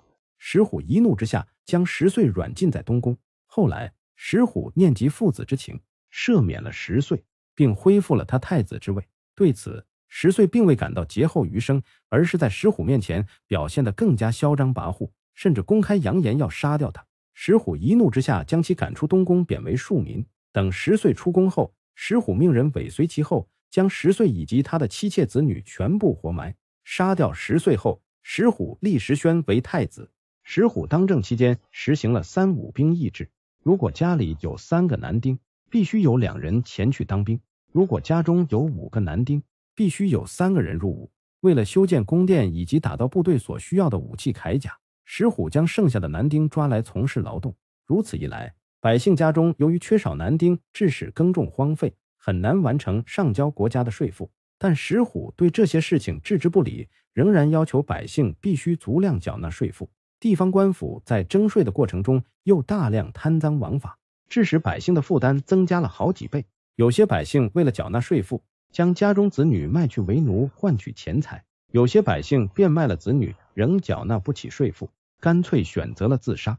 在石虎的统治下，后赵百姓犹如生活在人间炼狱。让我们把目光转到鲜卑慕容。当初晋元帝司马睿为了表彰安抚慕容伟，封他为车骑将军。都督幽州、平州等地诸军事。晋元帝继位后，继续拉拢慕容伟，并允许他以皇帝的名义开府治事，设置行政机构。在慕容伟在位期间，他将鲜卑慕容打理得井井有条，使鲜卑慕容成为一直实力不俗的潜力股。公元三百三十二年，在位四十九年的慕容伟去世，享年六十五岁。慕容伟去世后，他的嫡长子慕容晃继位。慕容晃继位后，开始严肃法度。对违反规则的人予以严惩，这让习惯了散漫的官员们十分不适应，私下里纷纷抱怨。但慕容晃没打算放松法度，继续用最严厉的方式管理，以此来提高自身的威望。慕容晃的庶兄慕容翰一直与他不和，眼见慕容晃继位后开始严肃法令，慕容翰害怕自己受到清算，便率领家小钱去投奔鲜卑段部。段部的首领段辽非常热情地接纳了他。慕容晃的亲弟弟慕容昭和慕容仁此前非常受慕容伟的重视。当初慕容伟还动过废立慕容晃的心思，后来在大臣们的劝说下，才让嫡长子慕容晃继位。为此，慕容晃对其他兄弟三人非常憎恨。慕容翰投奔鲜卑段部后，驻守平郭的慕容仁进城奔丧时，与留在京城的慕容昭密谋，他们打算起兵讨伐慕容晃。不料他们密谋的计划败露，慕容仁见形势不妙。火速离开了京城，逃到了平郭。三个兄弟的接连背叛让慕容晃十分愤怒，他派大将高许前去讨伐慕容仁，结果被慕容仁大败。鲜卑段部见慕容氏内部起了纷争，便趁火打劫，前去攻打鲜卑慕容的柳城。慕容晃知道战事继续拖下去会对他不利，于是亲自率军前去讨伐。他和弟弟慕容平一起，冒着刺骨的寒风，通过结冰的河面，绕到了平郭城的大后方。由于慕容仁疏于防范，最终被慕容晃成功攻破城池。慕容仁被生擒，慕容晃念及兄弟之情，让慕容仁自行了断。紧接着，慕容晃杀掉了他的亲信。为了稳定军心，慕容晃并未对平郭城的将士们进行惩罚，而是让他们各居其位。平叛结束后，慕容晃结束了继位后的第一场叛乱。由于在战斗中表现出色，慕容晃的名望得到了很大的提高。平定完叛乱后。慕容晃在部下的劝进下自称燕王，他建立的国家被后世称为前燕。登基为王后，慕容晃立慕容俊为王太子，并按照国家的规格重新设置行政机构。慕容晃是一个野心很强的人，登基称王后，他开始将目标锁定在鲜卑段部身上。为了灭掉段部，他打算联合石虎。为此，他将自己的弟弟慕容翰送到邺城做人质。对于慕容晃的示好，石虎欣然接纳，他没有扣留慕容翰。而是将他送了回去，并与慕容晃约定来年发兵讨伐段部。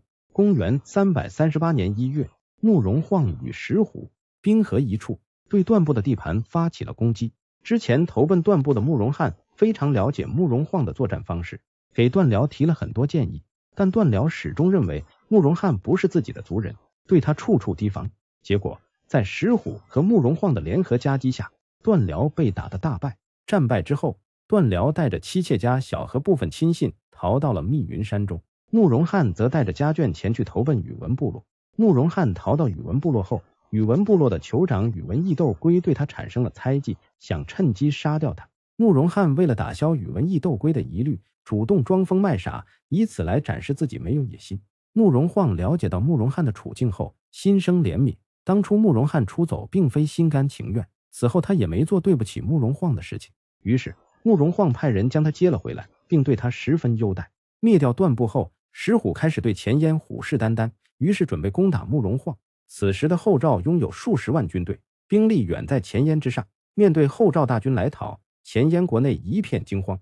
慕容晃也产生了弃城而逃的想法。关键时刻，他手下大将慕余根给慕容晃加油打气，力劝他坚守城池。慕容晃作为一国之主，在部下面前不能露怯，便强忍着恐惧坚守城池。将士们见慕容晃没有逃跑。军心暂时得到了稳定，大将刘沛主动请缨，率领敢死队前去迎敌，以此来鼓舞士气。后赵军队没想到对方敢前来偷袭，便放松了警惕。在刘沛的带领下，数百名敢死队在石虎大军中横冲直闯，杀死几十名士兵后，又返回了城内。这次偷袭让燕军士气大振，慕容晃也看到了一丝胜利的信心。大臣封毅告诉慕容晃，石虎的残暴已经到了天怒人怨的程度。只要能守住城池，时日一长，石虎内部必然会出现问题，届时就可以寻求主动出击的机会。慕容晃听从了丰毅的建议，死守城池。为了鼓舞士气，他亲自到城墙上指挥战斗，抵挡住了后赵潮水般的进攻。此番石虎是远道而来，他本想凭借军队数量上的优势碾压对方，速战速决。在前燕士兵的顽强抵抗下，石虎连续攻击了十几天都没有起色。此时，军中粮草开始告急，士兵们的抱怨声此起彼伏。为了防止军中出现哗变，石虎选择了退兵。慕容晃的四儿子慕容恪见对方撤退，主动请缨出城追击。他带领两千骑兵，将士气低落的后赵军队打得溃败，一共斩首三万余人，取得了一场大胜。此役是石虎最大的一次失利。为此，他强忍怒气，积极的屯田耕种。并联络高句丽，准备伺机对前燕发起报复。公元三百三十八年十二月，之前逃到密云山的段辽派使者向后赵请降。使者走后不久，他又改变了主意，派人前去向前燕投降。石虎先接到了投降信，他对段辽的投降都比较重视。石虎派大将麻丘率三万人前去迎接。慕容晃随后接到投降信，段辽在信中密谋与慕容晃一起截杀石虎的大军。为了完成这次任务。慕容晃亲自率人前去迎接，并在半路设伏，等待后赵军队钻入陷阱。后来，慕容晃在三藏口大败赵军，杀敌两万多人。此役，慕容晃还成功收服后赵大将鲜于亮。慕容晃见鲜于亮是一员猛将，便留在身边重用。段辽投降慕容晃后不久，又密谋叛乱，最终被慕容晃斩杀。随后，慕容晃将段辽首级送给了石虎，以此来缓和两国之间的关系。石虎见慕容晃有意示好，便暂缓讨伐前燕。在后赵和前燕争斗之际，南方的东晋朝堂也发生了变化。公元三百三十八年五月，王导被任命为太傅、都督中外诸军事；西涧被任命为太尉，宇亮被任命为司空。这三人位居三公，各自负责一个核心部门，是朝堂上的主要力量。三人之间相互配合，相互制约。经过王队之乱后，王家的整体实力已大不如前，王导为了获得赵印、贾宁等将领的支持，故而默许他们做一些违法乱纪的事情。宇亮是一个眼里不揉沙子的人，他知道王导默许手下人违法乱纪后，便想上书弹劾王导。在弹劾之前，他征求西涧的意见。此时的西涧掌握着京口的军队，这支军队是晋朝的主力部队之一，因此宇亮非常重视西涧的意见。西涧对弹劾王导一事表示拒绝。当初陶侃曾联络他弹劾王导，他都没有同意。宇亮的分量和陶侃比起来不值一提。况且西涧和王导还是儿女亲家关系，西涧的女儿西玄嫁给了王导的侄子，王导的侄子就是大名鼎鼎的王羲之。后来王羲之和西玄育有妻子一女，这其中就有大书法家王献之。西涧认为王导对司马氏非常忠诚，在忠诚这杆大旗下，其他瑕疵都是可以接受的。眼见西涧没站到自己这边，宇亮便放弃了弹劾王导。王导得知宇亮密谋弹劾他的消息后，行事越来越低调，时刻避其锋芒。公元三百三十九年七月，时年六十四岁的王导去世。作为东晋的肱骨之臣，司马衍下令全国为其哀悼三天。一个月之后，时年七十一岁的西涧也相继去世。公元三百四十年正月初一，宇亮也去世，年仅五十二岁。一年之内，晋朝连续失去三个顶梁柱，一时间整个朝堂人才凋零，举国上下陷入一片悲痛当中。王导去世后，他的侄子王允之出任江州刺史。此前江州是宇亮的地盘，此次任命让宇亮的弟弟宇义内心十分不快，因为江州是军事重镇，战略地位非同小可。王允之上任江州后，被认为侵占了宇氏家族的地盘。公元三百四十二年正月，宇义以道贺的名义给王允之送了一壶毒酒，但被王允之识破。王允之秘密将此事上书给司马衍。司马衍得知此事后，感叹道。之前宇亮已经将国家搞乱过一次，宇翼难道也要搞乱一次？不久后，司马衍的话传到了宇翼耳边，他担心自己会受到怪罪，便服毒自尽，时年五十岁。当年五月，年仅二十二岁的司马衍突生重病，卧床不起。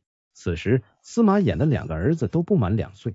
中书监宇兵劝说司马衍将皇位传给他的亲弟弟司马越，如果让尚在襁褓中的幼儿称帝，会引发朝堂动荡。司马衍认为有道理，便决定将皇位传于司马越。宇兵之所以如此积极推荐司马越，是因为司马越是他的亲外甥。司马越掌权后，宇氏家族能够在朝堂中掌握话语权。公元三百四十二年六月，司马衍去世，随后司马越登基称帝，史称晋康帝。随后，司马越将先帝司马衍的大儿子司马丕封为琅琊王，小儿子司马懿封为东海王。此次司马越能顺利登基，宇兵和何冲功不可没。司马越本想抬高何冲在朝堂上的地位，但何冲知道宇兵已经是朝堂实际掌控者，为了远离斗争漩涡，他主动请缨到外地任职。司马越看穿了他的心思，便任命何冲为骠骑将军，兼任徐州刺史，到外地驻军。司马越的皇后楚算子的父亲是当时的名士，楚算子的母亲则是豪门氏族谢家之女。氏族和皇族之间相互勾连，造就了非常特殊的政治生态。东晋是氏族制约皇权最厉害的时期，也是氏族和皇权共分天下的时期。在东晋时期，非氏族出生的普通人不能身居高位，朝堂上的核心位置必须由氏族子弟担任。对此，皇帝也无可奈何。宇亮去世后，他的另一个弟弟宇义被任命为荆州刺史。宇义是一个非常有抱负的人。他想寻找一名志同道合的人，一同北伐，收复故土。在他的细心观察下，琅琊太守桓温进入了他的视线。桓温的父亲名叫桓仪。桓温刚满周岁时，名士温峤前来家中做客，他发现桓温的面相非凡，将来会有大成就。桓仪得到温峤的夸赞后，非常开心，遂给儿子起名为桓温。羽翼为了拉拢桓温。曾向司马衍上书，请求把南康公主司马兴南嫁给桓温。司马兴南是晋明帝司马绍与宇文君之女。桓温成为驸马后，和羽翼的关系越走越近。后来两人立志北伐，收复故土。当时北方最大的势力是后赵，为了讨伐后赵，羽翼派人前去联络钱燕和钱粮，共同商定讨伐后赵。对于讨伐后赵一事，朝堂大臣多数都不赞同。他们认为东晋不具备这个实力，但桓温对于北伐一事非常赞同。晋康帝司马越也有收复中原之心，遂命令羽翼为主帅，连同桓温一起聚集全国兵马前去讨伐后赵。就在羽翼出兵后不久，司马越突然病倒，卧床不起的他丝毫没有变好的迹象。司马越自知时日无多，便开始安排后事。此时，司马越与楚算子的儿子司马聘年仅两岁，根本不具备执政的能力。出于大局考虑，羽翼和羽兵建议立晋元帝司马睿的幼子司马昱为接班人。此事遭到何冲的坚决反对，他认为就应该立两岁的司马聘为太子。司马越本不想把皇位传给他人，恰好何冲坚决拥护立司马聘，因此司马越便正式下诏立司马聘为太子。羽翼和羽兵之所以拥立司马昱，是基于自身政治利益考虑。如今他们的计划被破坏，便对何冲恨之入骨。公元三百四十四年九月，年仅二十三岁的司马越去世。随后，皇太后楚算子抱着两岁的司马聘登基。由于司马聘不具备执政能力，楚算子选择垂帘听政。司马聘登基后，楚算子为了感谢何冲，将其提拔为录尚书事。宇氏家族由于拥立新皇帝失败，在朝堂上的地位被大大削弱。当年十一月羽冰去世。公元三百四十五年七月，羽翼身上的毒疮发作，最终不治身亡，年仅四十一岁。羽翼死后，他的儿子羽爱之接过了父亲的权力。由于羽氏家族在荆州经营多年，在当地的势力盘根错节，如果让羽爱之继续担任荆州刺史，恐怕会养虎为患。为此，楚算子打算找人替换羽爱之。何冲推荐桓温前去接替，对此楚算子非常不理解。因为桓温一向与羽翼交好，桓温能取得今日成就，离不开羽翼的提携。羽翼生前还联合桓温一起共同北伐，他担心桓温出于情义不肯与羽爱之撕破脸皮。即使桓温愿意接任荆州刺史，羽爱之是否会放权也是个未知数。何冲告诉楚算子，桓温虽然与羽氏家族交好，但他更想追求功业。如果羽爱之成为他的阻碍，他会毫不犹豫地扫清障碍，而且。桓温的能力远超于羽爱之，后者不敢与桓温作对。在何冲的建议下，楚算子最终决定重用桓温，封他为安西将军，兼任荆州刺史，都督六州军事。至此，羽氏家族在朝堂上的势力越来越衰弱，一代权臣桓温就此登上历史舞台。此前，桓温和羽翼打算北上讨伐后赵，结果因为新皇帝登基出现了一系列变故，为此。桓温对整个北伐计划进行了调整，他将成汉作为首个北伐目标。此时的成汉政权和后赵一样，都在国内实施惨无人道的暴政。成汉是五胡十六国当中第一个建立国家的。成汉的建立者是氐族首领李雄。占据蜀地的成汉，虽然时常和东晋发生冲突，但都未伤及国本。近三十年来，国家一直在稳定运行。公元三百三十三年正月。成汉大将李寿拿下了东晋的熟食郡，随后周边几个郡见李寿来势汹汹，便主动献城投降。此役过后，李寿名声大噪。李寿是李雄的堂弟，非常能征善战，而且为人宽厚，深得李雄喜爱。后来李雄封他为建宁王。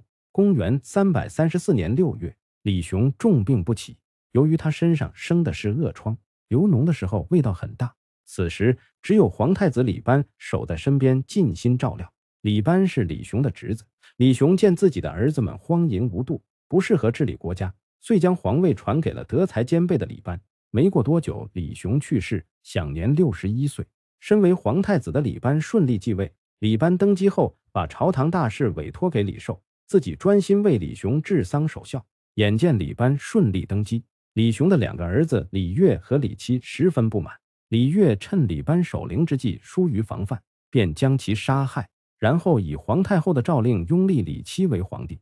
李七成为皇帝后，很快露出了本性，不但骄奢淫逸，还将其他对皇位有威胁的人全部杀掉。李寿由于功勋卓著，他深感不安，于是主动请求到边境驻守。李寿到了边境后，李七仍然不放心，为了给李寿下马威，李七派人毒死了李寿的弟弟。李寿表面上选择了隐忍，暗地里谋划进攻成都。公元三百三十八年四月。蛰伏已久的李寿对城府发起了进攻。为了鼓舞士气，李寿承诺拿下成都后，允许将士们在城中烧杀抢掠。当时李寿的儿子李氏在城中任职。当李寿大军兵临城下时，他偷偷打开了城门。李寿不费吹灰之力便拿下了成都。进城后，李寿命人逮捕了李悦等人，将他们全部诛杀，然后将皇帝李七软禁起来。局势稳定后，李寿开始兑现将士们的承诺。让他们在城内烧杀抢掠。本来李寿计划拿下成都后，向进士称臣，自己做一个偏安一隅的诸侯。但攻打成都过于顺利，他内心萌生了称帝的想法。举棋不定之际，他请巫师前来占卜。巫师根据卦象告诉他，他可以做几年天子。李寿听后大喜，决定称帝。他的谋臣谢思明劝李寿三思，做几年皇帝不如成为百世诸侯。但李寿表示，朝闻道。惜死可以，只要能做皇帝，哪怕只有一天也会满足。最终，李寿登基为帝，立李氏为太子。称帝后，李寿将李七贬为县丞。由于心理落差太大，李七随后自杀，年仅二十五岁。权力是一把双刃剑，既可以成就一个人，也可以毁掉一个人。李寿登基之前，为人谦虚，生活节俭，在骄奢淫逸的李氏子弟中是一个清流。但屠龙少年终成恶龙。当李寿成为皇帝后，变得极度奢靡，并且嗜杀成性。他将开国皇帝李雄的子嗣全部杀掉，彻底铲除能威胁他皇位的人。在生活方面，他将石虎作为榜样，在全国范围内大肆征集劳工前来修宫殿。此前跟随他打天下的旧臣也因为直言进谏而遭到诛杀。公元三百四十三年八月，四十四岁的李寿去世，太子李氏登基为帝。李氏对父亲的所作所为耳濡目染，登基后便一头扎进后宫美女堆里。为了能聚精会神的淫乱，他将朝政大事委托给身边的几个近臣，其他朝堂大臣全都成了摆设。此时的成汉已经和石虎统治下的后赵无异。桓温见成汉国内混乱不堪。便将北伐第一个目标改为成汉。蜀地自古以来都是易守难攻之地，但桓温对于拿下蜀地志在必得。公元三百四十六年冬月，桓温率领大军从荆州出发，逆流长江而上，并于次年二月到达四川境内。沉溺在温柔乡的李氏听闻桓温率军来讨的消息后，立马调兵遣将来应对桓温大军。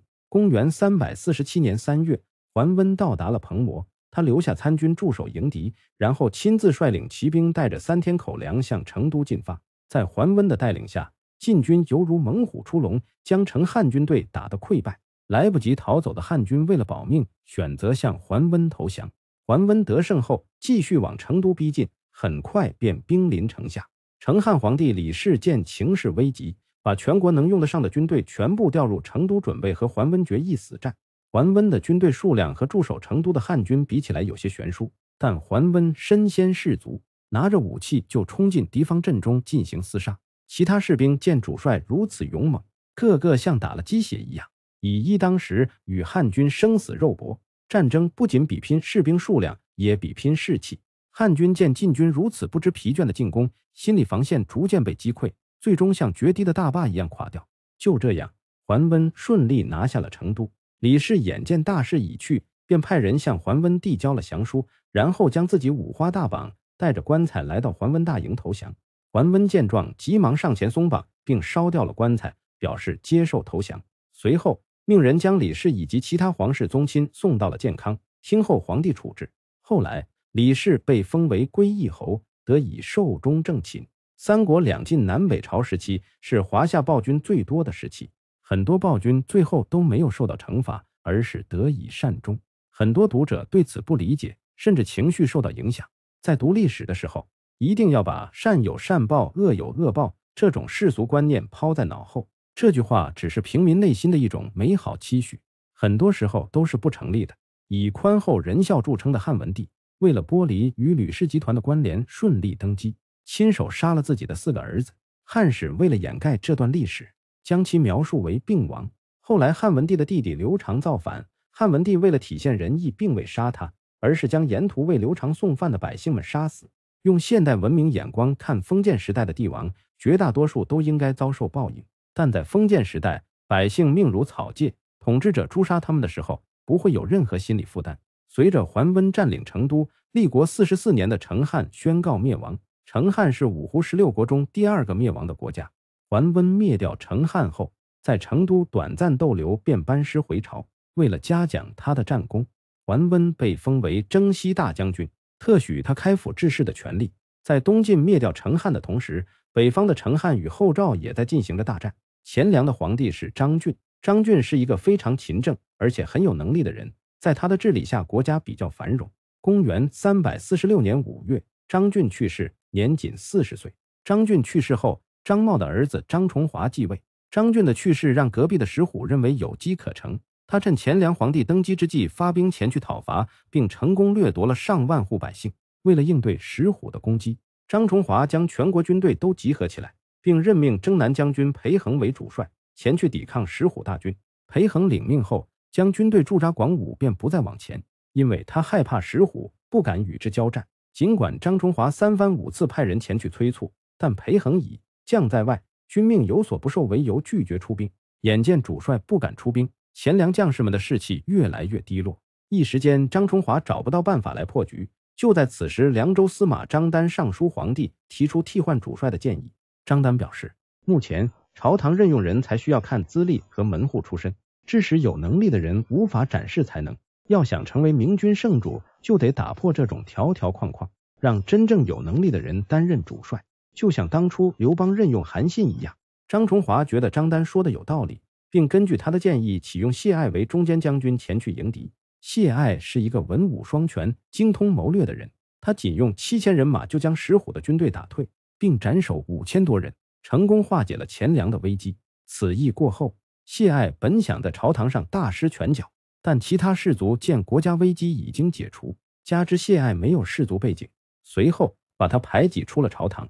公元三百四十七年四月，石虎再次派军队前来攻打钱粮，形势对钱粮十分不利。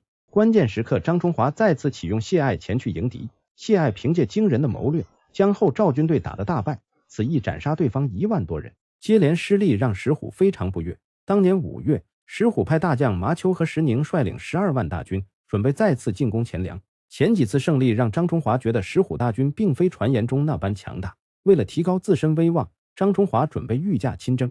对此，久经沙场的谢艾全力劝阻。他将自己与后赵军队作战的凶险细节讲给张崇华听，后者听完后放弃了御驾亲征的打算，然后任命谢艾为主帅前去迎敌。在谢艾的率领下，钱粮将士如下山猛虎，将石虎派来的几路大军相继打退，没人敢去与谢艾正面交战。石虎听闻前方失败的战报后，不禁感叹谢艾的实力。打退石虎大军后，谢艾接连平定了周边一些部落，凭借一连串的战功，谢艾名震西北。此时的石虎已经年逾五十，他自知不可能像年轻时一样东征西讨，而手下又缺乏猛将，不能替他开疆拓土。此番攻打钱粮失败，让石虎很失望。加之东边前燕不断发展壮大，南边的东晋有长江天险护卫，一时间他不再对开疆拓土抱有希望。他打算在剩余的生命里最大限度的享乐，至于是否会透支国力，他完全不在乎。当时西晋设置了十九个州。后赵独占其中十个，版图相当之大。石虎命人在国内搜刮各种奇珍异宝，后来民间的奇珍异宝已经不能满足他的胃口，他组建了一支官方盗墓团伙，专门在国内进行盗墓，将前朝王侯将相们的陵墓挖开，盗取其中的宝物。为了修建园林，石虎在国内征召了十几万劳工，昼夜不停的在邺城周围施工，最终导致数万人累死。眼见一座座宫殿拔地而起，石虎认为自己是苍生之主。他告诉身边的人，除非天地崩塌，否则没人能夺去他的这一切。太子石宣继承了父亲的残暴与奢侈，在横征暴敛方面完全不输于石虎。石宣的弟弟石涛同样如此。不过，石宣和石涛二人一向不和，石虎更偏爱年纪较小的石涛。当初曾打算立石涛为太子，后来在大臣们的建议下。才决定立嫡长。石涛仰仗石虎的宠爱，越来越不把石宣放在眼里，这让石宣非常震怒。他心生一计，他想先杀掉石涛，等石虎前去平调的时候，再将石虎杀掉。公元三百四十八年八月，石涛在邺城外设宴招待群臣，石宣派出的杀手趁他酩酊大醉之际，混入宴会将其杀死。第二天，石宣向石虎汇报石涛的死讯，石虎听后悲愤交加。准备到事发地点前去查看，最终被身边的大臣们劝住，派人前去调查。他留在宫中等候消息。石宣见石虎没有前去事发地点吊唁，内心十分慌张。他本想找几个人顶罪，但最终被他人告发。石虎得知是石宣所为后，当即下令将其逮捕，并用铁钩子穿透石宣的下巴，让他用舌头舔干净杀害石涛凶器上的血迹。俗话说，虎毒不食子。但石虎显然比猛虎还要歹毒。为了给石涛报仇，石虎将石轩的头发薅掉，然后拔掉他的舌头，接下来砍掉他的手脚，用绳索穿过他的下巴，将他吊了起来。此时的石轩还有奄奄一息。紧接着，石虎命人将热的肚子划开，挖掉他的眼珠。等他垂死挣扎的时候，又用火把他付之一炬。石虎虐杀石轩的时候，让宫中的嫔妃全部来现场观看。在场的人无不胆寒失色，还有一些人被恶心的当场呕吐不止。杀掉石宣后，石虎又下令杀掉了他的妻儿。石宣有一个小儿子，深得石虎的喜爱。石虎平时非常宠爱他，准备饶他一命。但大臣们劝谏石虎斩草除根，以免将来孩子长大后前来复仇。石虎不忍心杀孙，大臣们果断从石虎手中将其夺走，活活摔死。清理完石宣的妻儿。石虎又将东宫所有人全部杀掉，然后将东宫改成了猪圈。隶属于东宫的一万多名的高丽军被发配到边疆做苦力。经过此番折腾，连续死掉两个儿子的石虎，精神受到了刺激，很快便一病不起。此时的石虎已经五十四岁，他自知人生大限已至，便着手准备册立太子一事。石虎手下有一员大将叫张柴，从他的名字也可以看出，此人并非善茬。张柴是个汉人，当初起兵失败，投降了石勒，在攻打刘耀的时候。张柴俘虏了刘耀年仅十二岁的女儿安定公主。安定公主长得国色天香，起初张柴想据为己有，他为了站稳脚跟，最终献给了篡位的石虎。安定公主深得石虎的喜爱，后生下一子，名叫石氏。张柴告诉石虎，此前两个儿子之所以谋反，是因为他们的母亲都是歌姬舞女出身。他劝石虎应该立一个母亲出身贵族的儿子。石虎听后认为有道理，便立石氏为太子。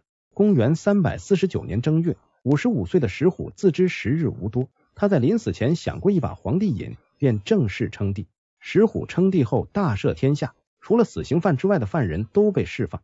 正在赶往边疆戍边的高丽军听闻大赦天下的消息后大喜，但不久后，高丽军将士们得知他们不在此次大赦范围之内，为了防止他们闹事，石虎命雍州刺史张茂将高丽军的马匹全部没收，并派兵监督他们前往边疆。此时，高丽军将士们的愤怒情绪达到了极点。后来，高丽军头领梁独自称是晋朝征东大将军，带领将士们造反，准备杀回邺城找石虎报仇。高丽军是一支战斗力很强的队伍，在梁独的带领下，他们一路攻城拔寨，往东部进攻。沿途不断有人前来投奔，等到达长安时，已多达十万之众。面对来势汹汹的高丽军，石虎大惊，随后派出十几万骑兵前去抵挡。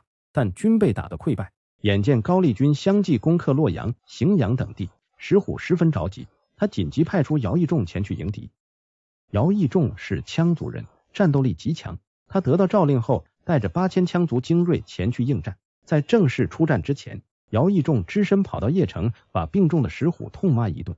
此时的石虎需要依仗姚义仲，不但没有责罚他，反而赏给他上等的铠甲和骏马。在姚义仲的带领下，朝廷军队占据了上风，最终将高丽军打败。石虎为了奖励姚义仲，封他为西平郡公，并特许他可以见履上殿，入朝不屈。公元三百四十九年四月五日，石虎任命石尊为大将军，任命石斌为丞相，并让他们两人入朝辅政。太子石氏的母亲刘皇后担心石斌对年幼的石氏产生威胁，便和张柴密谋杀死了石斌。四月二十三日，时年五十五岁的石虎寿终正寝。作为华夏历史上最残暴的皇帝之一，石虎一生建立了不小的功业，但他的荒淫残暴可以将他的功业全部抹杀。石虎的行为不断刷新人类的底线，如此残暴的人能够得以善终，也再次印证了善恶有报只是一种期许。石虎死后，年仅十一岁的石氏登基为帝。由于皇帝年幼，刘太后垂帘听政。为了巩固朝堂地位，刘皇后重用张柴来清除异己。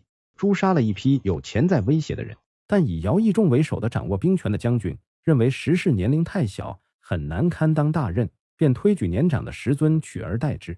石尊见将军们都支持自己，便起草檄文，以清君侧的名义进京讨伐张柴等人。当石尊起兵的消息传至邺城时，刘太后和张柴商议对策，他们试图用高官厚禄来拉拢石尊，便下诏任命石尊为丞相、大司马、大都督。并赐予他加九锡，相当于把整个国家的兵权都交给石尊。作为交换条件，石尊还得奉石氏为皇帝。石尊假装答应。当张柴打开城门迎接大军入城后，石尊当即逮捕了张柴，随后将其斩首，并一灭三族。此时的刘太后已经吓得六神无主，她根据石尊的要求，下诏让石世善位于石尊。石尊假意推辞了几次后，便登基为帝。随后，石尊下令将刘太后母子软禁起来。不久后，又将他们杀死。得知石尊称帝的消息后，驻守继承的沛王石冲认为石尊的行为是弑君篡位，遂起兵前去讨伐。石尊命石敏和李农前去迎敌，并大败石冲的军队。兵败后的石冲自杀身亡，他手下三万将士均被活埋。平定完石冲叛乱后，石尊进一步集中权力，在石敏的建议下，他下令免去驻守雍州、秦州两地的都督蒲洪之职。蒲洪是石虎的亲信，眼见自己被夺权，心有不甘，便派人和进士联系，如果形势有变，就准备投靠进士。最终，石尊担心逼反蒲洪，便撤销了命令。在石尊众多心腹大将中，石敏是石尊非常仰仗的一个。由于石尊没有儿子，起兵反叛时，他曾向石敏许诺，只要起事成功，就立石敏为太子。为此，石敏主动请缨，为石尊充当反叛前锋，为石尊肝脑涂地的效命。但石尊登基称帝后，却改变了主意，最终立石斌的儿子石衍为皇太子。石尊之所以食言，是因为石敏并不是正宗的羯族血统，而是汉人的后代。石敏峰父亲名叫冉良，冉良祖上世代都是军中的衙门将。西晋八王之乱过后，天下大乱，冉良为了谋生路，加入了陈武领导的起活军。在与石勒战斗的过程中，起活军被石勒打得大败。但冉良因为表现相当勇猛，获得了石勒的关注，最终被石勒留在身边。此时的冉良年仅十二岁。后来，石勒让石虎将其收为养子，石虎将其改名为石瞻。石瞻天生神力，在作战的过程中异常勇猛，凭借战功在军中一路高升。后来，石瞻在跟随石虎前去征讨刘耀的过程中被杀。石瞻去世后，他的儿子石敏继续跟在石虎身边。石敏的身体素质丝毫不逊于父亲，他也因此得到了石虎的厚爱。成年后的石敏跟随石虎东征西讨，凭借惊人的武力屡屡获得战功，后来被任命为游击将军。此前在消灭高丽军的过程中，石敏也立下战功。这一系列表现让石敏逐渐声名鹊起。由于从小在石虎身边生活，石敏一直将自己视为血统正宗的石氏宗亲，所以当石尊承诺立他为太子的时候，石敏对此深信不疑。但石尊知道石敏的出身，他不可能将石氏家族建立的王朝交给一个汉人，因此食言。石尊对此并未放在心上，但石敏却一直怀恨在心，久而久之便萌生了武力夺权的想法。石敏为了成功上位，在夺权之前，他开始在军中拉拢亲信，并获得了一众亲随。石敏的举动逐渐引起他人的注意，眼见石敏不断培植亲信，有人建议石尊杀掉石敏，以免夜长梦多。此时的石尊已经动了杀心。公元三百四十九年十一月，石尊召集其他皇室子弟前去面见郑太后。在郑太后面前，石尊说：“石敏已经显现出谋反之心，他建议诛杀石敏。”石尊的提议得到了其他人的支持，但郑太后不同意。他说：“石尊能顺利登基称帝，石敏功不可没，不能因为他表现出一些骄傲自满，就要杀掉他。”由于郑太后的阻拦，石尊便打消了诛杀石敏的念头。当天，石尊的哥哥石建参加了这次讨论，而且石建也赞同诛杀石敏。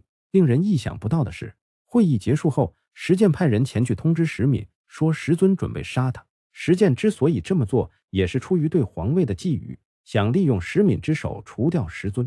果不其然，石敏听闻这个消息后，火冒三丈，他没有坐以待毙，而是当即起兵造反。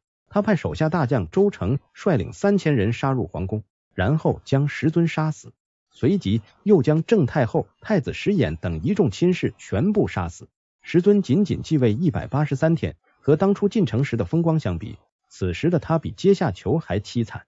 杀掉石尊后，石敏并未取而代之，而是拥立石建为帝。石建等这一天等了好久，他假意推辞了几次后，便登基称帝。随后，他封石敏为大将军。任命李农为大司马，其他参与政变的人都得到了封赏。由于李农等人都是石敏的心腹，朝堂掌控者实际上是石敏。石建不甘心被石敏摆布，随后派乐平王石苞带领士兵连夜围攻石敏的府邸。对此，石敏早有准备，双方士兵打得难解难分。本来这是一场刺杀，最终演变成了火并。石建为了不让别人知道自己是幕后主使，派人将石苞等人杀死。后来。石建又暗中联合其他对石建不满的朝堂大臣，准备将其杀死。冉闵和石建两方势力在皇宫进行了多番战斗，杀得整个皇城尸横遍野。最终，技高一筹的冉闵赢得了胜利。他将石建软禁起来，严加看守。为了笼络民心，他下令凡是和他同心的人可以留在城内，和他不同心的人可以自由选择是否留下。由于石敏是汉人，此项命令一出，城内的胡人纷纷逃走。而周围的汉人则入城声援石敏，这番场景让石敏彻底明白了一个道理：人们只会忠诚于同样血统的人。虽然他很想融入石氏宗亲的，但血统上的隔阂决定了石氏宗亲不可能真正接纳他。想到此处，石敏发布了一条命令：只要斩杀一个胡人，文官进位三等，武官直接拜为衙门将。这道命令被称为“杀胡令”。此道命令一出，城中汉人像发了疯一样屠杀城中的胡人，一天之内就杀掉上万胡人。与此同时，石敏也亲自上阵斩杀胡人，不论男女老幼，一概成为被诛杀的对象。胡人和汉人的长相有一定的区别，但并不是非常明显。有些身形高大、鼻梁高挺的汉人也被当作胡人诛杀。在杀胡令的推动下，邺城周围被屠杀的胡人就多达二十万。为了处理这些尸体，石敏命人将其抛到郊外，任凭野兽吞食。处理完邺城的胡人后，石敏将杀胡令颁发到整个国家。其他汉人将领看到命令后，纷纷拿起武器，对境内的胡人展开清剿。一时间，后赵境内的胡人成为待宰的羔羊。这道杀胡令不仅为石敏出了一口恶气，也让他获得了众多汉人的支持。此时的石敏野心已经急剧膨胀，内心有了称帝的想法。在古代，称帝讲究顺应天命，他命人翻遍史书典籍，在其中找到一句谶语，内容为继赵李，也就是说，赵李两位皇帝称帝后，他才能做新皇帝。为了顺应这句谶语，他改国号为魏，同时将自己的名字改为李敏。此时。李敏并未正式称帝，后赵的将军们见形势不妙，纷纷逃离邺城，到其他地方拥兵自重。这些人不但拒绝接受李敏的号令，还在伺机而动，时刻准备出兵邺城诛杀李敏。后来不断有人率兵进攻邺城。公元三百五十年七月，石坤和张举集结了七万大军前来征讨李敏。为了立威，他披挂上阵，亲自出城作战，并一举将石坤等人打得溃败。此后。又有陆陆续续多路大军前来征讨。由于李敏和李农都在城外迎敌，邺城内部城防出现了空虚。被软禁的石建秘密联系驻守在外地的将领，打算联合他们趁机夺取邺城。但石建的信被李敏截获，一怒之下，李敏将石建杀死，随后将石氏家族不分男女老少全部杀死，这其中包括石虎二十多个孙子。邺城内的石氏宗亲彻底被灭族。此时，李敏的声望达到了巅峰。众人联名劝他称帝，对此李敏坚决不受，而是执意要把皇帝的位置让给李农。李农是个聪明人，他知道皇帝之位是个烫手山芋，而且他也知道李敏只是谦让一下，如果他真的接受帝位，恐怕会遭到报复。为了推却帝位，李农表示汉人都是晋氏的臣子，如今晋氏依然保存完好，应该向晋朝称臣，迎接晋朝天子还都洛阳。听完李农的建议后，李敏面露难色。尚书令胡穆察觉到李敏只是对李农谦让，如果真的对晋氏称臣，恐怕会造成新的内乱。于是胡穆劝说大家说：“晋氏已经衰微，而且远在江南，没有能力领导群雄统一中原。现在当务之急是称帝自立，将来统一中原后，再迎接进士回洛阳也不迟。”李敏见胡穆为自己说话，果断抓住了这个台阶。随后登基称帝。李敏称帝后恢复冉姓，名叫冉闵，然后改国号为魏。这段政权被后世称为冉魏。冉魏政权在历史上争议很大，他并未被后世归为十六国之一。现如今，冉闵备受一些历史爱好者推崇，因为颁布了杀胡令，很多人将其视作汉族的救世主。他们觉得，如果没有杀胡令，汉人将被全部灭种。杀胡令之所以能在后世引起如此大的反响。是因为五胡乱华时期，各路少数民族对汉人的迫害令人发指。在各路少数民族中，尤其以石勒所属的羯族最为残暴。他们攻陷城池后，会将城中男性全部杀死，将妙龄女子掳走供士兵们奸淫。如果遇到军粮短缺的情况，会直接杀掉烹食。他们将这些汉人称为两脚羊。客观来讲，杀胡令在维护汉人方面起到了一定的作用。但颁布杀胡令的石敏。并不是什么救世主，他只是一个政治投机分子。他颁布杀胡令的初衷，并非是拯救汉人，而是为了报复自己不被胡人接受。如果他能成功融入石氏宗亲，被屠杀的对象可能就是汉人。这样的人算不上民族英雄，更不是救世主。冉闵登基后，第一件事就是大赦天下，然后将跟随自己的人全部进行封赏。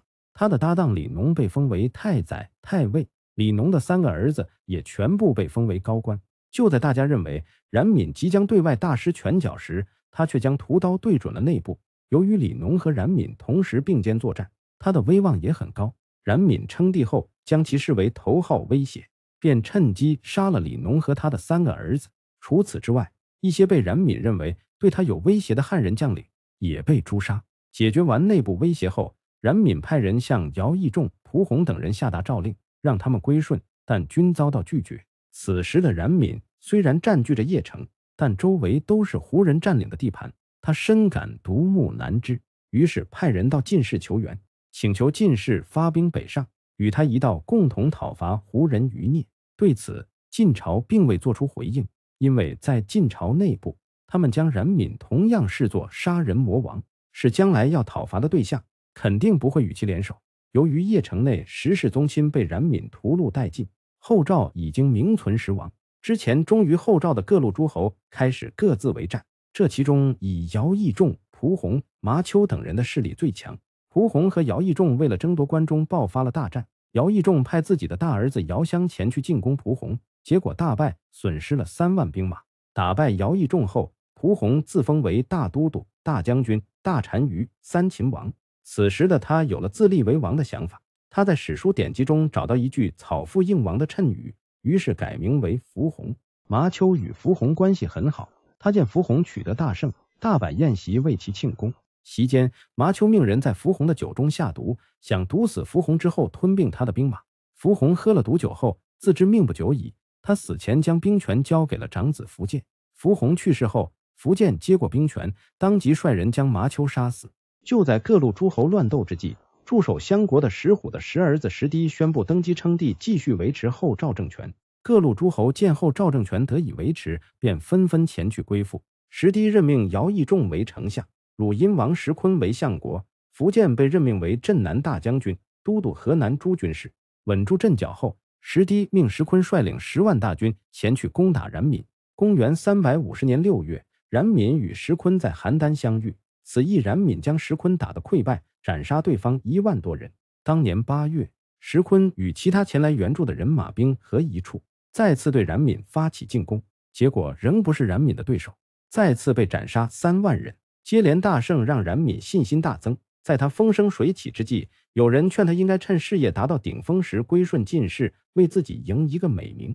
但没人愿意在巅峰时向他人俯首称臣，这是人性使然。当年十一月，冉闵决定亲率十万大军前去攻打襄国。此时的他做了一个大胆的决定，准备征召胡人士兵前去作战。为此，他封自己的二儿子冉印为大单于，用来统领匈奴士兵。冉闵之所以这么做，是因为单凭汉人士兵很难和胡人对抗。此举也相当于间接废除了杀胡令。这也证明当初的杀胡令只是为了达到政治目的而临时制定的，和民族大义并无多大关系。对于征召胡人士兵一事，他的部下劝他不要任用胡人士兵。这些胡人士兵只是碍于形势暂时归附，一旦被他们找到机会，肯定会发生叛乱。冉闵听后，不但没听劝阻。还将前来进言的部下一灭三族，此后再也没人敢前来劝阻。在冉闵的围攻下，襄国坚持了一百多天，城内已经弹尽粮绝，用不了多久就会被攻破。危难之际，石堤去掉皇帝的尊号，改称赵王，然后派人突出重围，向前燕和羌族首领姚义仲求救。石堤向前燕承诺，只要他答应前来相救，解围后就会把传国玉玺相赠。此时的姚义仲已经七十一岁，他无力再上战场。但他之前蒙受石虎的恩惠，为了报恩，他派自己的大儿子姚襄前去相助。与此同时，姚义仲给钱淹写信，请求出兵前去相助。钱淹最终答应出兵相救。他派将军岳婉与姚襄兵合一处，共同抵抗冉闵。公元三百五十一年三月，姚襄、岳婉会同石坤一起集结了十几万人前去征讨冉闵。起初，冉闵派出几员大将前去迎敌，结果大败而归。冉闵一气之下，打算御驾亲征，试图以一人之力同时打退对方三路大军。但现实很骨感，尽管冉闵自认为是天下无敌，可在三路大军同时夹击下，他没坚持多久便溃败。在撤军的过程中，魏军出现了严重的踩踏事故，整个军队失去了控制。冉闵见大势已去，最终带着十几个亲随逃往了邺城。就在冉闵打算回城重整旗鼓时，之前前来投奔的匈奴小头领利特康，趁冉闵兵败之际，在邺城发起了兵变。利特康率领军队中的少数民族，将冉魏朝廷的大臣们屠戮殆尽，然后在城中杀了十几万人后，投奔石堤。冉闵的儿子冉印被绑去相国，石堤直接命人将其处死。利特康走后，冉闵趁机偷偷混入邺城。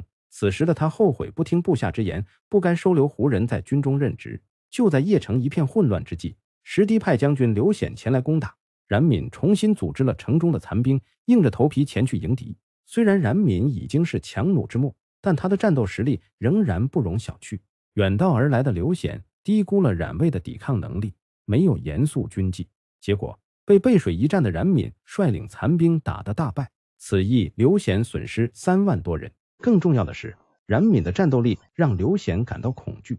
在撤军的过程中，刘显派人向冉闵投降。为了表示诚意，他承诺回到相国后杀掉石堤。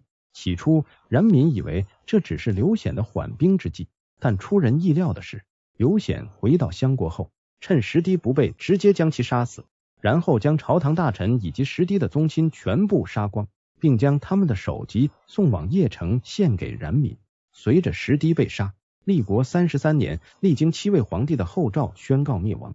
刘显这个意外之喜让冉闵绝处逢生，他封刘显为大将军，兼任冀州牧。